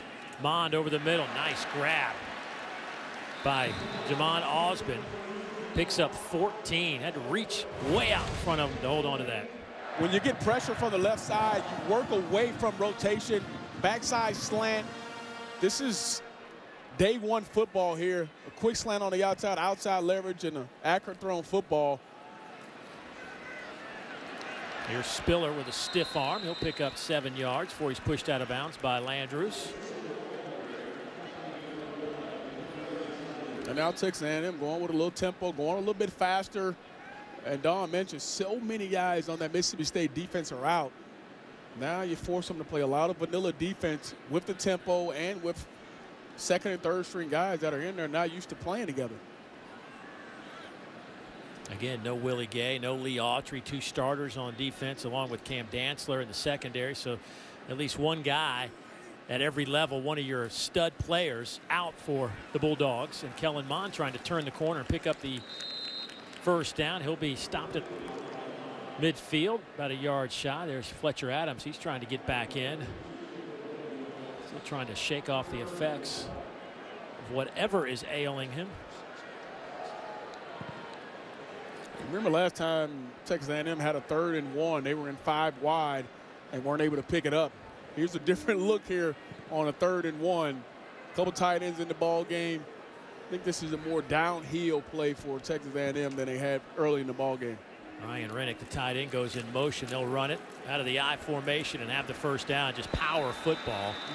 And that time A&M wins at the line of scrimmage, four-yard gain. Yeah, I think Jimbo got into the mindset of we're not going to play around on these third and shorts. We need to pick these up and continue to keep the, the chains moving because they have Mississippi State on their heels right now. But if this ball game or Mississippi State has any chance in this ball game, their defense has to find a way to get some stops and get the football back to their offense. Big plays have been an issue for Texas A&M. Not a whole lot of them. Jimbo Fisher telling us yesterday in today's game it generally comes from like a short catch and a guy breaking a couple tackles. Which is so true with so many middle field safeties. They're just not allowed to have that. Kellen Mond trying for a big play here. He'll have the first down after a gain of about 14 yards. See where they spot it. They'll spot it right near the 30, so give him 16 on that carry.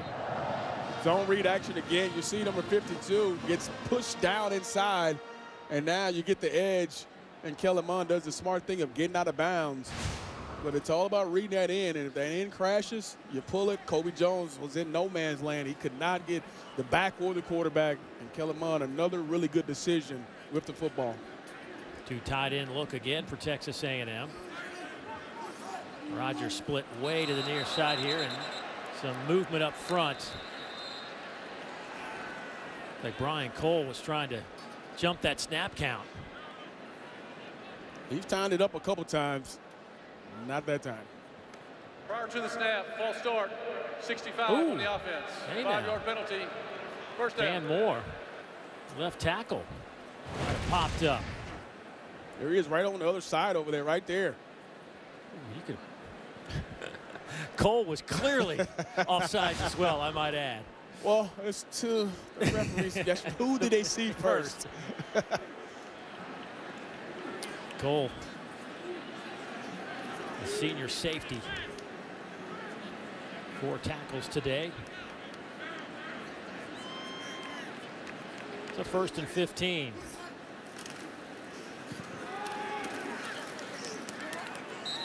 Spiller will pick up four.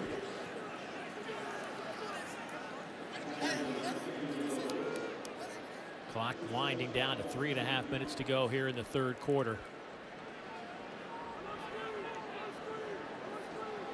Texas A&M doesn't mind this style here. They're still moving the football at their own pace. They controlled the time possession in the first half. Here comes Cole again off the edge. The safety now he'll back off.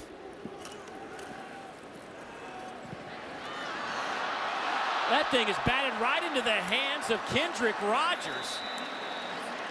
Jalen Wydermyer was right there. It bounced off him and right to Rogers. Seven yard gain. Mississippi State wanted to look like it was pressured. Number a stick route here by Jalen. You see his head look upfield before Hey. he tucks that football away. And Kendrick Rogers says, thank you, I'll take it. Yeah, another catch for Kendrick. Ball just bouncing your way. Wydermyer already with a 52-yard touchdown catch of this game, trying to help get other others involved. He's had his, right? Yeah, just the, you never think freshmen would be that considerate. Want to get their other guys involved in the offense. Kudos to him, man. Third down and four. Ausbon to the 10 and fall down at the eight-yard line. It'll be first and goal for the Aggies after another 16-yard gain. Watch this route. Watch this setup. Goes outside, sticks him, and then comes inside, creates that separation, and no chance on the outside for Jarrian Jones. Toss to Spiller to the five, and he's out of bounds there. He'll be run out of bounds by Preston. It's just been tough for Mississippi State to be right. They brought pressure and haven't been able to get to Kellen Mond. They played zone, and he's picked them apart. And now they play some man coverage, and the receivers are winning at the line of scrimmage, creating that separation and making easy throws for Kellen Mond.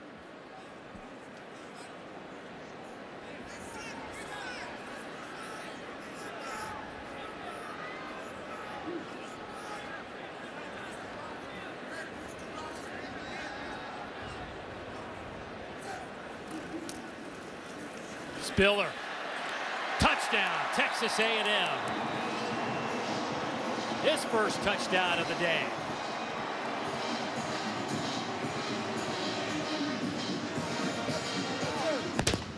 Boy, just another long drive. 11 plays, 75 yards. And look at right guard, 55, Kenyon Green. True freshman get in there and open that hole up for him. And Spiller with a hole like that, it's easy to get into the end zone there. Point after is up and good. 42-17. Six and a half minutes off the clock. Another youngster, Isaiah Spiller, the true freshman from Spring, Texas, finds Pater.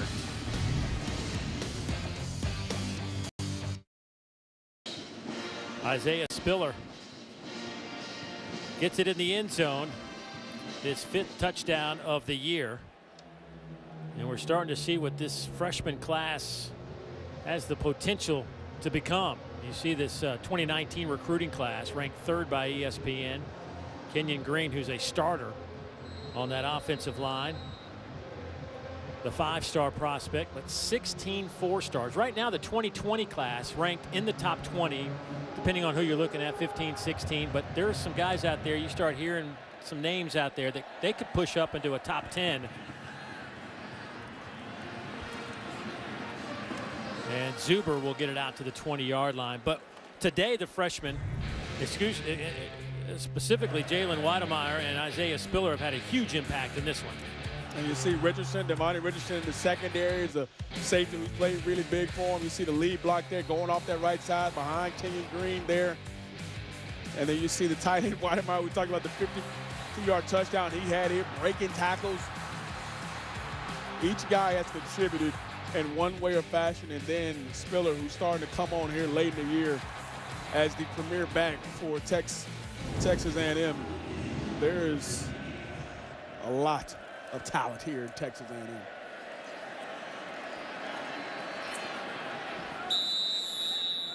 Kylin Hill run out of bounds by Leon O'Neal after a three-yard pickup. Spiller chasing down another 100-yard game. He has two already this season.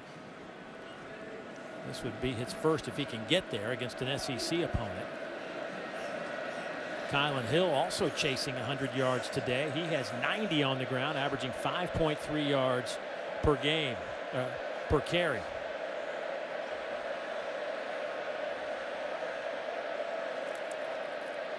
Shrader, quick throw, and that one's dropped.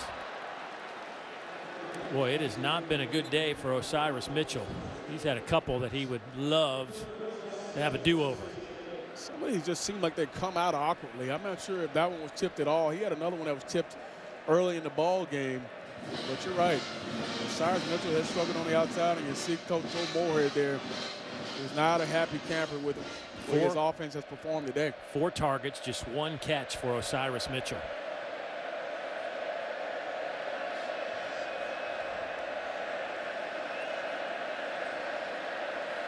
And this is muddy in the water. Look at all these guys right here in the box in the eyes of Garrett Shrader. Are they coming or are they not? And I think Mississippi State was able to get a timeout as the play clock was just about to hit zero. And Joe Moorhead able to get the attention of their second. our officiating crew. Please reset the game clock to 34 seconds. 3 4. So 34 seconds to go before the end of the third quarter. Gives us an opportunity to tell you that coming up at 4 o'clock Eastern, uh, college football season week nine will continue on. South Carolina taking on Tennessee at Neyland Stadium. That's an interesting matchup. And of course, tonight we'll cap things off with our SEC Saturday night. Missouri taking on Kentucky, another one that has some big things in store for that one. Missouri coming off a tough loss. And can Kentucky can get continue to get Lynn uh, Bowden to perform at the level he's been performing at as a quarterback? Yeah. It's been impressive what he's been able to do. He has, and you know he's the guy that played some quarterback in high school, and uh, they expected some big things out of him. You see what's going on in the West as well. Mac Jones getting his start there versus Arkansas. So second, excuse me, third down and seven. Two of eight today on third down conversions. Here comes some more pressure and a false start. Tommy Champion saw some of that pressure coming from the back end and Yeah, Dave, that's uh, well they say couldn't hold his water. yeah, that's that's tough to do. You see him coming down, creeping, and you know they're about to bring some pressure. Offside on the defense, number three. Five yard penalty. Third down. Ooh. Boy, Tyree Johnson, the other side. Champion bailed out there.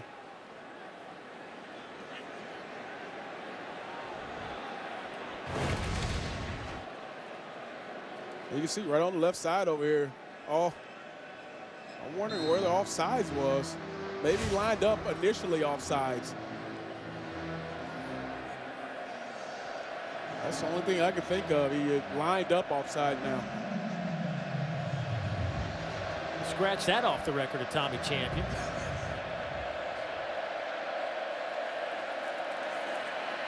Shrader runs left side. He is tripped up around the 34 yard line, and that'll be good enough to pick up the first down. So they convert as the clock ticks at 25 seconds and it's moving. I think Coach Moorhead wants to take this into the possibly into the fourth quarter.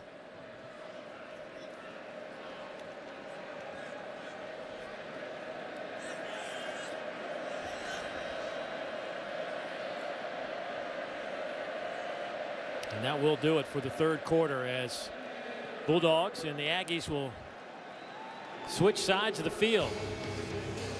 15 more minutes to go from Kyle Field here in College Station, Texas. The Aggies looking impressive, leading at 42 to 17 on an SEC Saturday.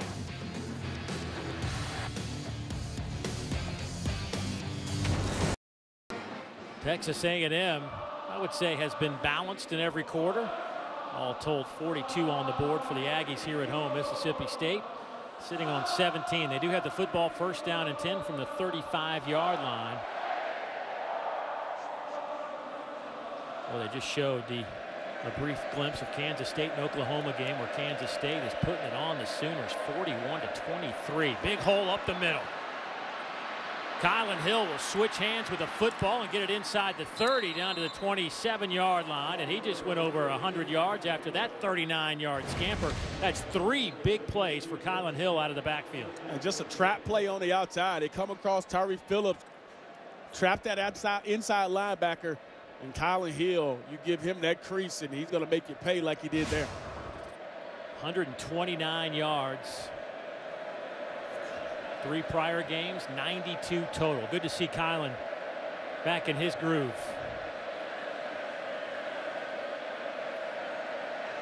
His eighth career 100 yard game. Shrader will keep it, and he gets it to the 20 yard line before he is slammed to the turf by Tyree Johnson, who may have knocked the wind out of him. He's grabbing his stomach and asking for some help as he comes off the field. We get Jeremiah Martin back on the field.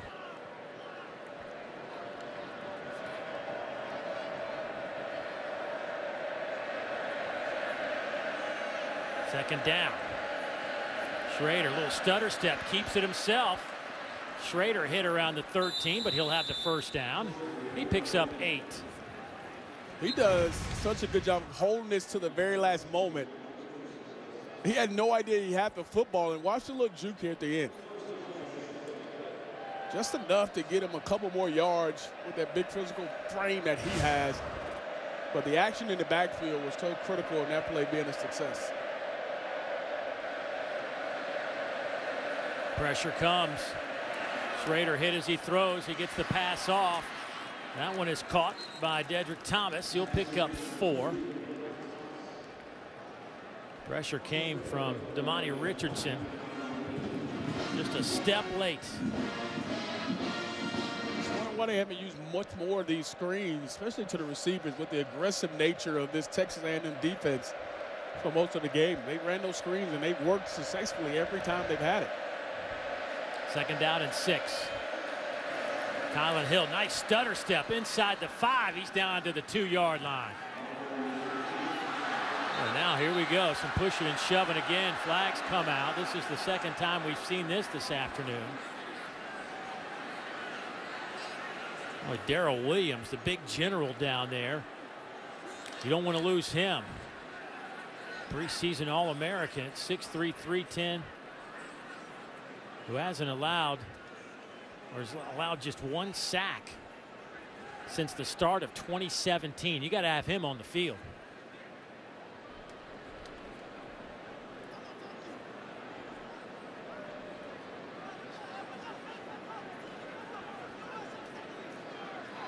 You can see he's he's fired up down there.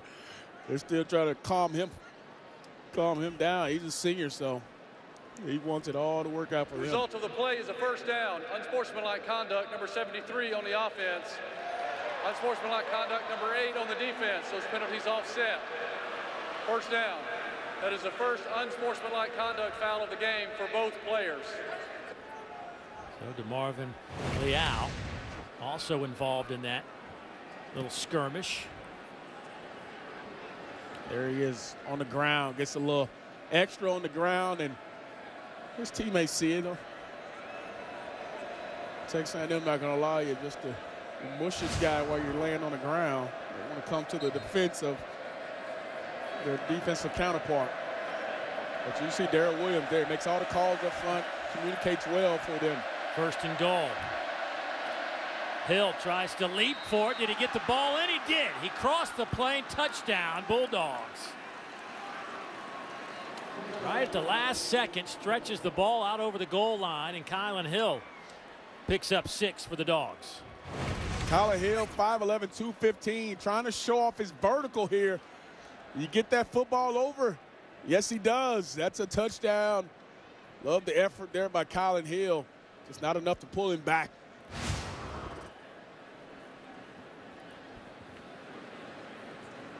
138 yards on 20 carries for Kylin Hill.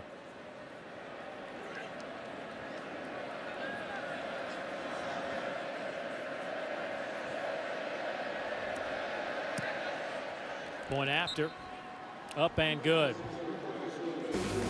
When he's going well, this Mississippi State offense seems to be doing well. But they've got a long way to go. Certain teams are just dominant until you get on the field.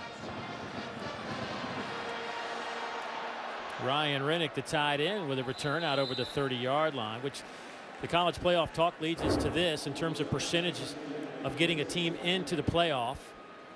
SEC at 98% right now. The Big Ten at 92%. The Big 12 might take a big old shot right here if Oklahoma loses. They're at 51%. Notre Dame 12% chance to get into the college football playoff. Notre Dame said you're still saying there's an opportunity. There's still a chance. These teams in front of them keep losing like Oklahoma. Matter of fact, they just did give up the six, so now it's 48 points on the board for Wow. Kansas State over Oklahoma. Unbelievable. Spiller nowhere to go. He'll lose two or three yards on that carry. Let's go down and get an update with Dawn. Yeah, Dave Jarrian Jones went into the locker room, spent some time there, came back out with his right wrist, specifically his right thumb, heavily taped up. Almost looks like a club on his right wrist now, but he came back out, put his helmet on, was ready to go in. Boy, and Dawn, and now Fletcher Adams down on the ground as well. I mean, they are just, uh, this is just incredible what's going on today. Well, we were just talking about Kansas State, Oklahoma. Let's get back to the studio. What's going on now, guys? All right, Dave, Halloween's not till next Thursday, but Oklahoma's defense in 2019 dressed up as 2018 Oklahoma defense. How about this? K-State just getting it done early and often and again and again and again. Now, 41-23, an opportunity to punch it in. 48-23, 25-point lead for the Wildcats. Oh. Wow. That is crazy what's going on there. I mean, that's, That's just that's that's a beatdown. Here are the remaining undefeated teams. App State playing today against South Alabama. They were up big. They're about to go to 7 and 0 as well. But you can uh, perhaps chalk off Oklahoma. With that offense, you don't ever know. But you're talking about four score, four possession game now. Well, that's the difference. You can't stop them. It looks like Kansas State is going up and down the field. Every time you look up there, somewhere near their end zone. So even if you're scoring points, you can't match them point for point in that ball game. And Oklahoma looks to be in some serious trouble. Speaking of trouble, that is trouble for the Bulldogs. Fletcher Adams being helped off the field. Second time we've seen him leave today. It looked like he may have tweaked an ankle or something earlier in this game, and now he's being helped off the field for a second time. Here's Kellen Mond, little quarterback draw. He'll slide down around the 35, and don't see a flag. Boy, you and I saw a dangerous play last week.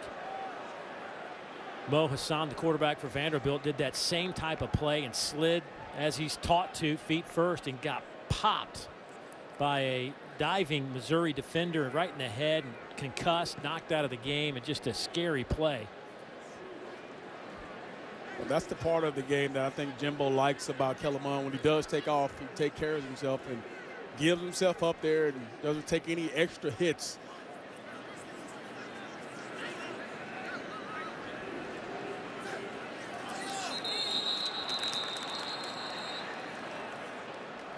Well, I've missed twice on who was offsides today, so I'm not saying False anything.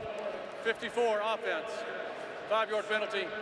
Third down. I think we've both been over on the day. It's Carson Green right there gets called for the false start.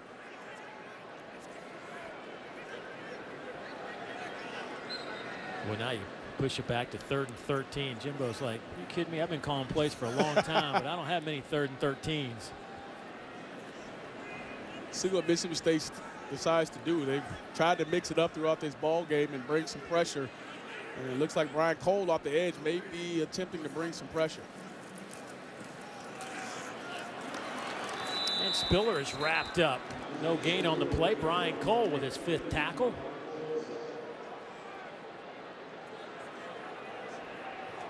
And we haven't seen this happen many times, but Mississippi State gets a stop. And we talked about it in the third quarter. If they was going to give themselves any opportunity in this ball game to get back in it, their defense had to get some stops. And Well- there you go.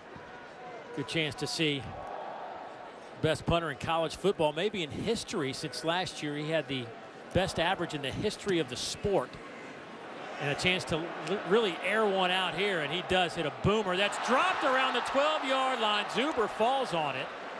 That one goes 57 yards. Dude's amazing, isn't he? Never thought I'd come watch a punter. Dude can let it go.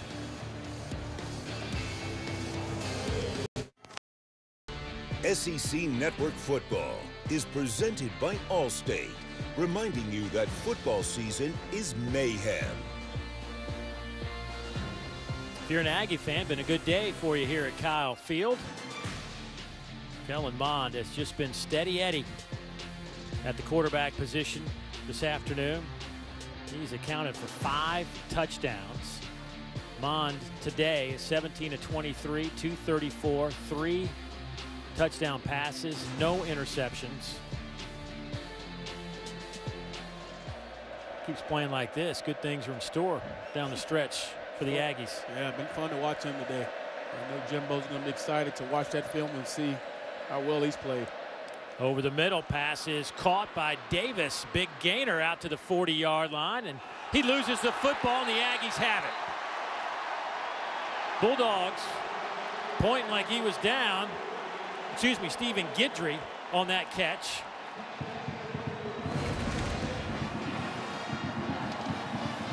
Guidry just had a, it was a routine play, it appeared, and then Jones just comes in there and strips it out. Yeah, that football like is clearly out. It was close to his elbow hitting that ground, but you can see right before that elbow hits the ball, hits the ground, that ball is loose and out. Yes, that will be a turnover, but Guidry. Well, that's close to being down, but I. Recovered by Texas A&M. Yeah, I think that ball was moving before Yeah. that elbow gets down. I think that'll go as a fumble, but it was close.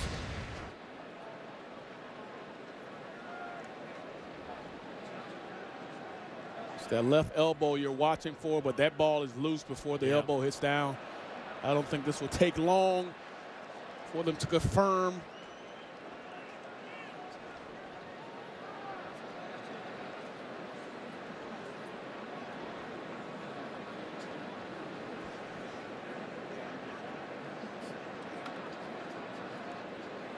Left knee hit the ground before the ball comes free? I don't think so. Yeah, I Again, think, I think, think it- that it- ball's loose, and he- you know he's kind of on the defender as well too. I don't think the shin hits the ground.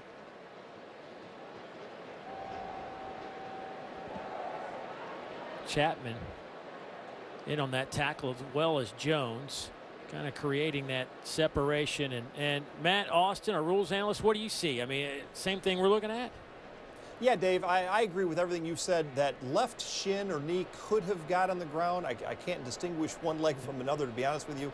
The other point is the player was definitely still moving forward, gaining yardage, so it's not a question of forward progress. So if the ball did come out before the knee was down, it's definitely a fumble and a turnover. Well, it'll boil down to the guys' opinions in the replay booth. After further review, the ruling on the field stands of a fumble recovered by Texas A&M. Yeah, I- I- down. I just don't think there was enough there to overturn that call. Like I said, it's so uh, the margin of error was so small and minute there to try to turn that call over. So, partner, we are correct. We've got one right today, right? As long as it's not an offsides for me, we're good. I'm okay with the other stuff. The offside- I'm having a hard time seeing that. You see Joe Moorhead just look down. I mean, there you go. You get a big play, get the ball toward midfield, and this offense is really their last three drives prior to that one amassed 216 yards. They held the football for 14 minutes, a couple of touchdowns and a field goal. It looked like they were going that direction again. And now they turn it over to the Aggies and Isaiah Spiller, and he'll pick up three yards. And now this is all about Texas A&M just taking this clock down as far as they possibly can, get out of here and get set for a stretch run with four games remaining after this one. Jimbo Fisher and company non-conference game next week against Texas San Antonio and then it's South Carolina, Georgia and LSU. Matter of fact, this is a great opportunity. Texas A&M, they've never played at Georgia since they've been a member of the SEC. As Spiller off the right side. And they haven't been to Georgia since 1980. Wow. Guess who was playing for the Dogs in 1980? Who? One of the greatest of all time. Who? Who's Herschel, that guy? Herschel Walker. Yeah, I've heard of him once or twice. Heard he's pretty good. That's when uh, this Aggie team back in the old Southwest Conference days, they actually opened up that season in 1980. They opened up with a game against Ole Miss and a game against Georgia. Well, this this schedule towards the end doesn't get any easier. No. Both road, both games on the road. So this is a game that they need it for sure, but need it for confidence-wise on both sides of the ball to clean up a lot of things because that stretch run is going to be pretty tough. Timeout taken by Texas A&M. 8.41 to go in the contest. Aggies up 42-24. We'll step aside.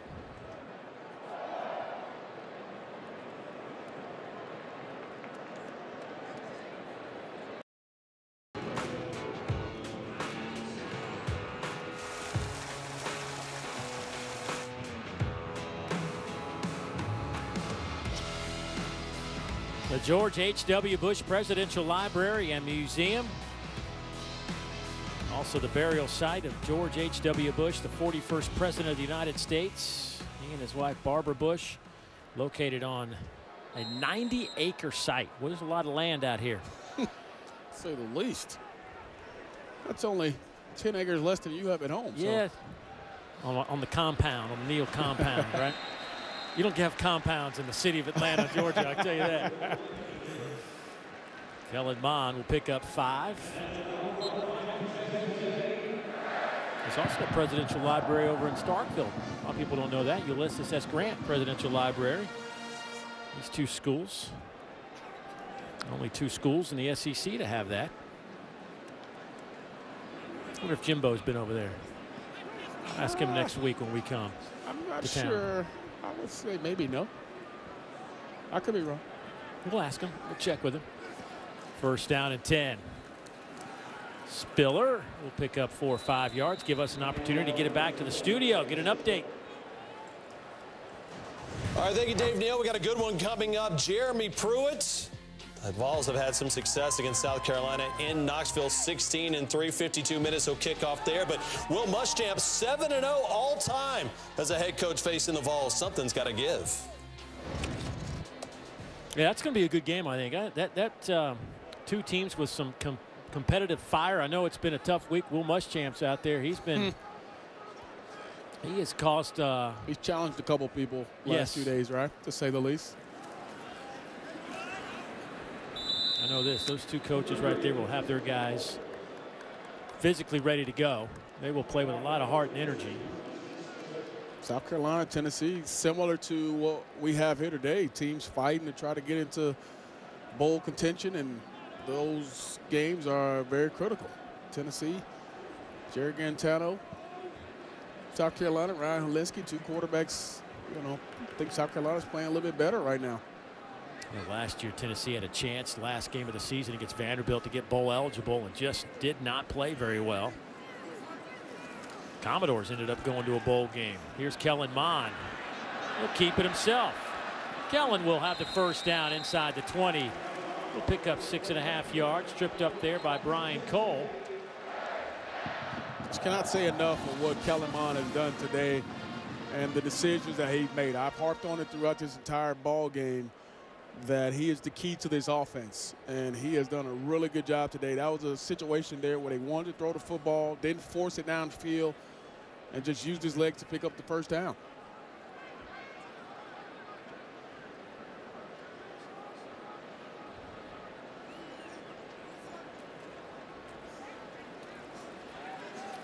Richardson on the carry off the left side, driving inside the 10 to the 5 and run out of bounds. He took three or four Bulldogs with him. Straight downhill power, and you see Richardson running with that. Look at those legs turning and carrying three, four, five Bulldogs as he was hit five, six yards down the field, end up picking up another first down. Tough, hard run from Richardson.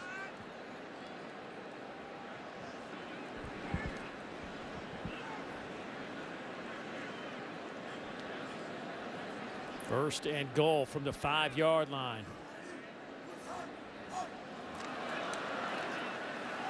They'll go with Richardson off the right side. He'll get it down to about the two yard line. Texas A&M came in scoring a touchdown in the red zone 55% of the time. Today they are five for five in touchdowns inside the red zone, trying to make it a perfect six for six if they could stick this one in here. That'll make that guy right there very happy. Jimbo Fisher being efficient in the red zone, getting touchdowns, not field goals, putting a lot of pressure on the opposing team's offense to score and match. Out of that pistol formation, they'll go Richardson again to the right side, and he powers his way into the end zone. Make it six for six for the Aggies today.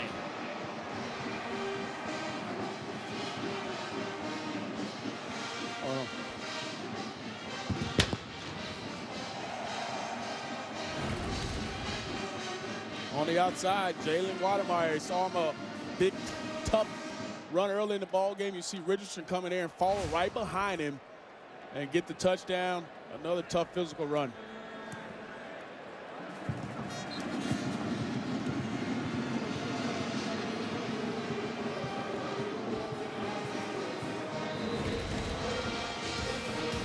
Right here, you got your freshman tight end leading the way for Canary Richardson to get into the end zone. Run zone for Erroll Thompson to get to the end zone. Big day for Texas A&M, up 49 to 24. Turned out to be a gorgeous day here in College Station. Not so pretty for the Bulldogs of Mississippi State as they have given up 49 points now to the Aggies. 4.53 to play in this one. And if you're Mississippi State, you're trying to find some positives. And, I, you know, I, I think they've had some success. It took a while, but they did have three drives in a row and looking like they were going for four in a row where they sustained drives, resulted in points on the board, and they coughed it up their last possession after a big play. And Kylin Hill, his game changed a little bit today as he has put together a fantastic performance on the ground with 138 yards rushing, averaging almost seven yards a carry. Yeah, he was, uh, Shrader knocks off a, a big run here, but he was a part of this ball game. And I said he has to touch the football 20 to 25 times. And they did that. And But that was the part of the ball game they were not able to get going was Shrader running the football. He struggled in this ball game running the football, so Kylin Hill had to pick up the slack. Shrader 11 carries, 32 yards, 9 of 22 throwing the football. We'll throw it here. Trying to push it down the field and almost a spectacular grab on that far side, but it'll go incomplete. They were trying to hit Austin Williams. Clifford Chattman back there in coverage. And that's one thing that they really have stressed is we want to play tight defense on the outside. They want to be aggressive, but they also want to contest every throw. And Texas A&M has done that. And the numbers show that for Garrett Shrader why they haven't been able to throw the football and be efficient doing it.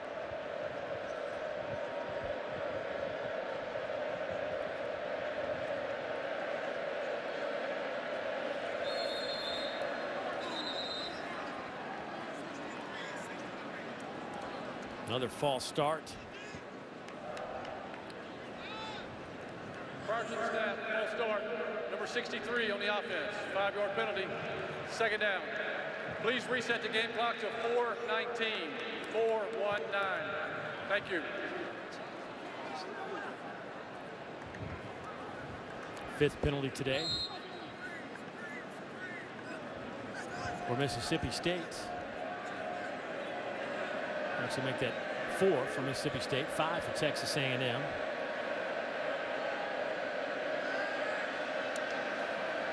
Four-man rush. Incomplete. Trying to hit Williams again. And this is where Mississippi State has struggled, not just today, but throughout the year when they've had to throw the football. They just have not been that much of a threat down the field. And defenses know it. They brought the pressure today. I thought it was a really good plan for Mike Elko and Texas A&M. They added another guy to the box, played man coverage on the outside, and forced Garrett Shrader to throw the football into tight windows.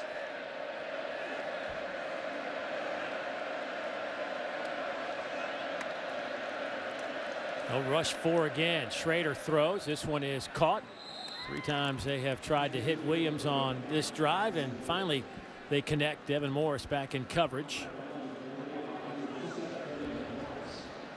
So it'll be fourth down and about five and a half, maybe six yards coming up.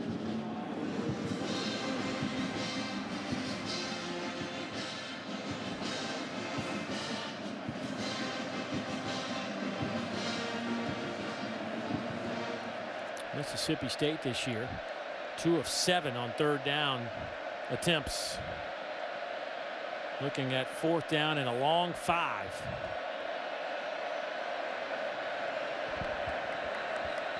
And the play clock winds down, but they do get another timeout just before it hits zero.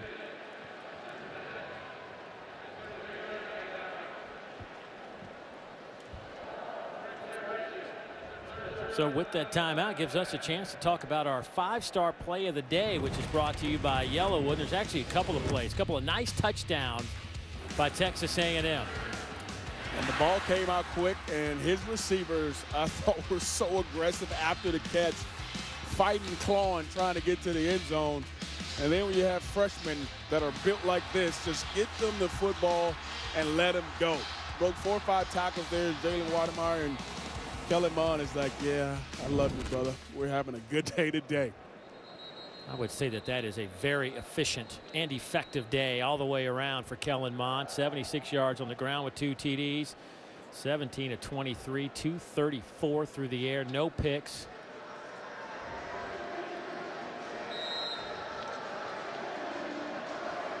And remember, their first three drives, they didn't really do much with them. And then they got it cranked up and rolling in the right direction. So from the 43 yard line, fourth down and five coming up. Shrader trying to bounce out of that pocket. Will throw on the run and the catch is made for a first down by Isaiah Zuber as he'll pick up six. Shrader did everything he could to buy time, but watch the hands right here, Zuber. This is a strong catch here by Zuber to come down with that to convert that fourth down. That's a difficult catch, but he does a really good job of bringing that into his body and coming down with a, with a big time catch. So first down. Shrader again bumped out of the pocket. He'll run for a few yards. Pick up five on that one. Tyree Johnson putting the pressure on the quarterback. Got seven pressures today by Texas A&M on Garrett Shrader. Sacked him a couple times, and uh, there probably was a couple more times they had an opportunity to get him, and he broke the tackle of a few guys. But to say he's been under duress is an understatement today. Kylin Hill pick up the first down and get out of bounds inside the 35. Carper runs him out there and a gain of 11 so the numbers getting better and better for Kylin Hill. Now up to 150 yards rushing on 21 carries. Well, that's more like Kylin Hill, the guy we saw the first month of this season.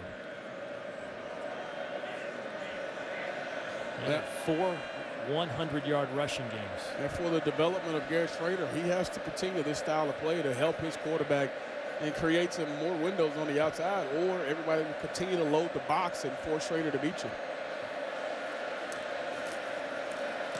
Batted out of the air. Some pressure came off the edge. For Mississippi State, they got to hit the road again. They're in the midst of a five-game stretch where four of them are on the road. It wraps up next week at Arkansas. Then they take a week off and face Alabama and wrap it up with Abilene Christian and, of course, the Egg Bowl on November 28th against Ole Miss.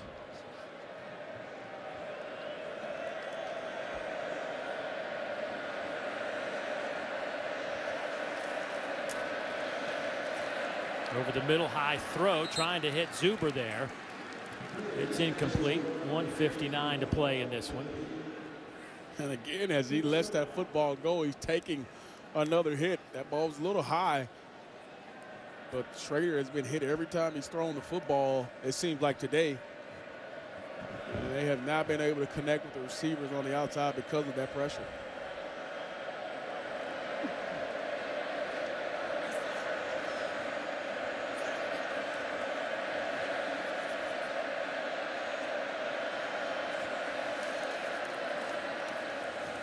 Shrader keeps it himself, has the first down to the 20 yard line. Picks up 14 there. Richardson tripped him up. Richardson having a nice day with seven tackles, couple of pressures, forced a fumble.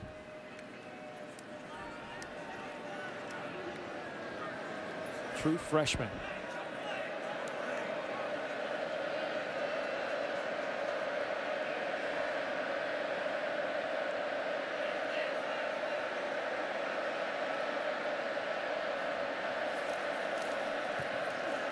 Shrader will throw. Lofts it to the end zone, and that one is incomplete, trying to hit Osiris Mitchell. Now we got a flag down and a player down.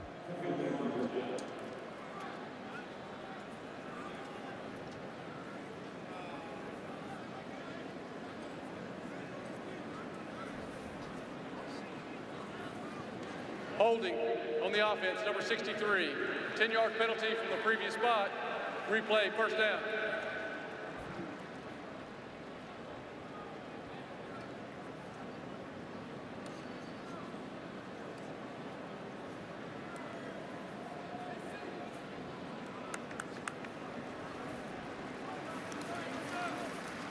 Debione Renfro. Slow to get up, but walking off under his own power.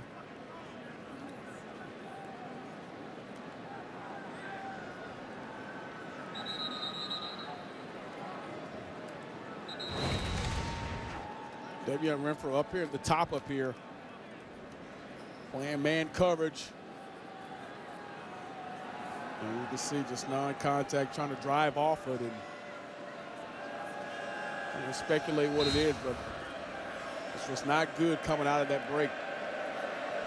Well, the holding penalty backs him up to the 30-yard line. So first down and 20. They'll swing it to Kylin Hill. Oh, Farrod Green just couldn't get his hands on the defender, and that caused problems as Hill will lose 10.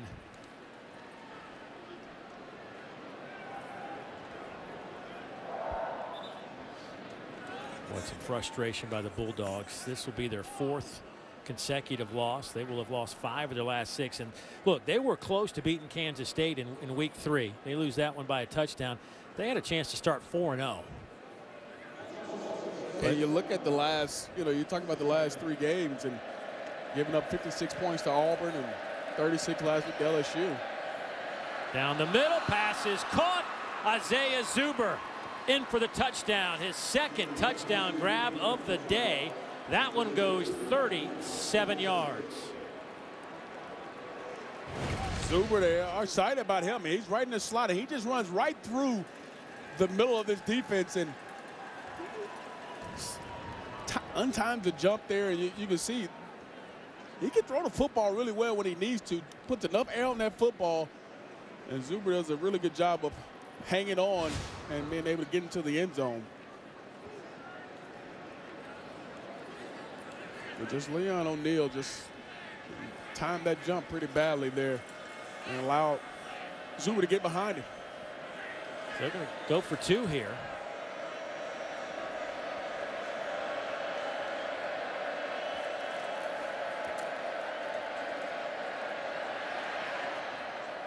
And Shrader just lofts it up in the air, and it is incomplete. Well, certainly you come to this stadium on this day, and you see a lot of maroon on the field. And we were get, just talking about it, like, how do you know the difference between one shade of maroon and the other? Well, you decided to go on the street, DJ, and check in with some of these Texas A&M students to see if they know the difference in the shades of maroon.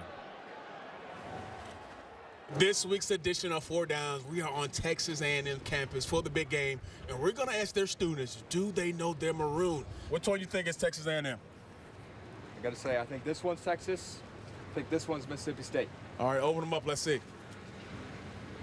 And this one is Mississippi. Okay, no, that one. Okay, so pick it up and see. Oh, oh yikes.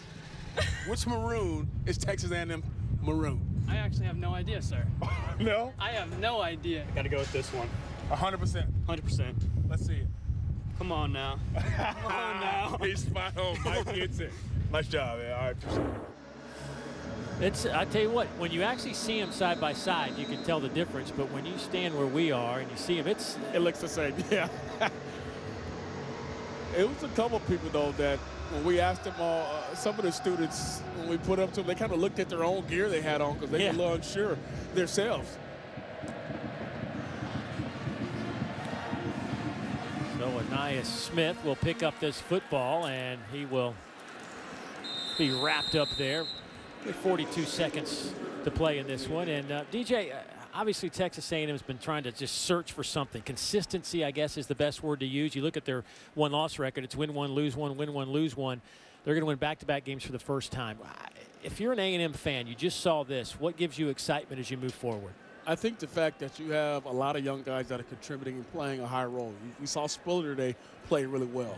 You're talking about uh, Kellen Mond, who is really becoming a better passer. Wydermyer, we saw him break a couple tackles. There is a lot of youth infused in this team, and they're playing better, and they're playing in these environments that's going to help them down the road. Yes, Jimbo Fisher was talking to us yesterday, they just need some more recruiting classes like this one where you got guys that can come in right away, play some football. Um, you know, and listen, let's face it right now, there's an opportunity for young guys to come in here and get some work early on. There are some teams where that's not necessarily the case, but you do have a great recruiting pitch to go out and sell some of these kids. Hey, here's an opportunity for you to get on the field as a true freshman. Yeah, Texas A&M came in here with playing 15 true freshmen. That's the ultimate selling point for recruits when they come is, will I be able to play early? And Jimbo Fisher can turn on the tape and say, here, we've had 15 true freshmen play this year. And that bodes well for recruiting, I think. That might just be the last play of the game as Texas A&M will put 49 on the board today and win this one by 19 points. The Aggies amass 439 yards of offense. Give the Bulldogs some credit. They put up 433, but not enough on the scoreboard where it really matters. Kellen Mond so effective and efficient today. Just six incompletions and 23 attempts. He accounted for five touchdowns. 207 yards rushing for the Aggies and 234 through the air. So Texas A&M wins back-to-back -back games for the first time this year. They go to 5 and 3 on the season. Meanwhile, different story for the Bulldogs who go to 3 and 5 and they have now dropped four in a row and five of their last six. Kylin Hill, though, a bright spot, over 100 yards rushing. Kylin put together a fantastic performance, averaging over seven yards a carry, 21 rushes, 150 yards, but not enough. Certainly, it'll be a long week in Starkville as they get ready to take on the Arkansas Razorbacks, who play Alabama later on tonight. Let's go down to Dawn. All right, I'm here with Kellen Mond. Kellen, 234 yards passing, almost 430 total yards from this offense. What keyed your success in the air today? Uh, just being able to be disciplined from the start to finish, and uh, defense helped us really well with getting turnovers and, and having really good field position. So, uh, real big team win for us. We talked to you yesterday about these young guys, your weapons and your targets, your true freshmen. What did you see out of those guys today? I mean, in this offense, we need to make plays, and uh, Isaiah, Jalen, uh, both those guys were able to make big time plays for us, and uh, Jalen was able to make a big time, uh, you know, run after catch for us. So uh, just being able to make plays for all of us, and uh, it's another big win for us. Coach Fisher has talked about your comfort level, how he sees it week after week. Just translate onto the field. Two rushing touchdowns for you today as well. Where was that comfort? Um, I was really high, and you know it starts in practice. So um, I thought the offensive line did a really good job, and you know especially with the play calling, being able to mix a lot of things up today. Um, so we were able to keep the defense on their heels. So uh, really, a really good offense and team win for us. Congratulations, Kellen. Guys. Thank you, Dawn. Thank you, Kellen. He'll feel pretty good about his performance today.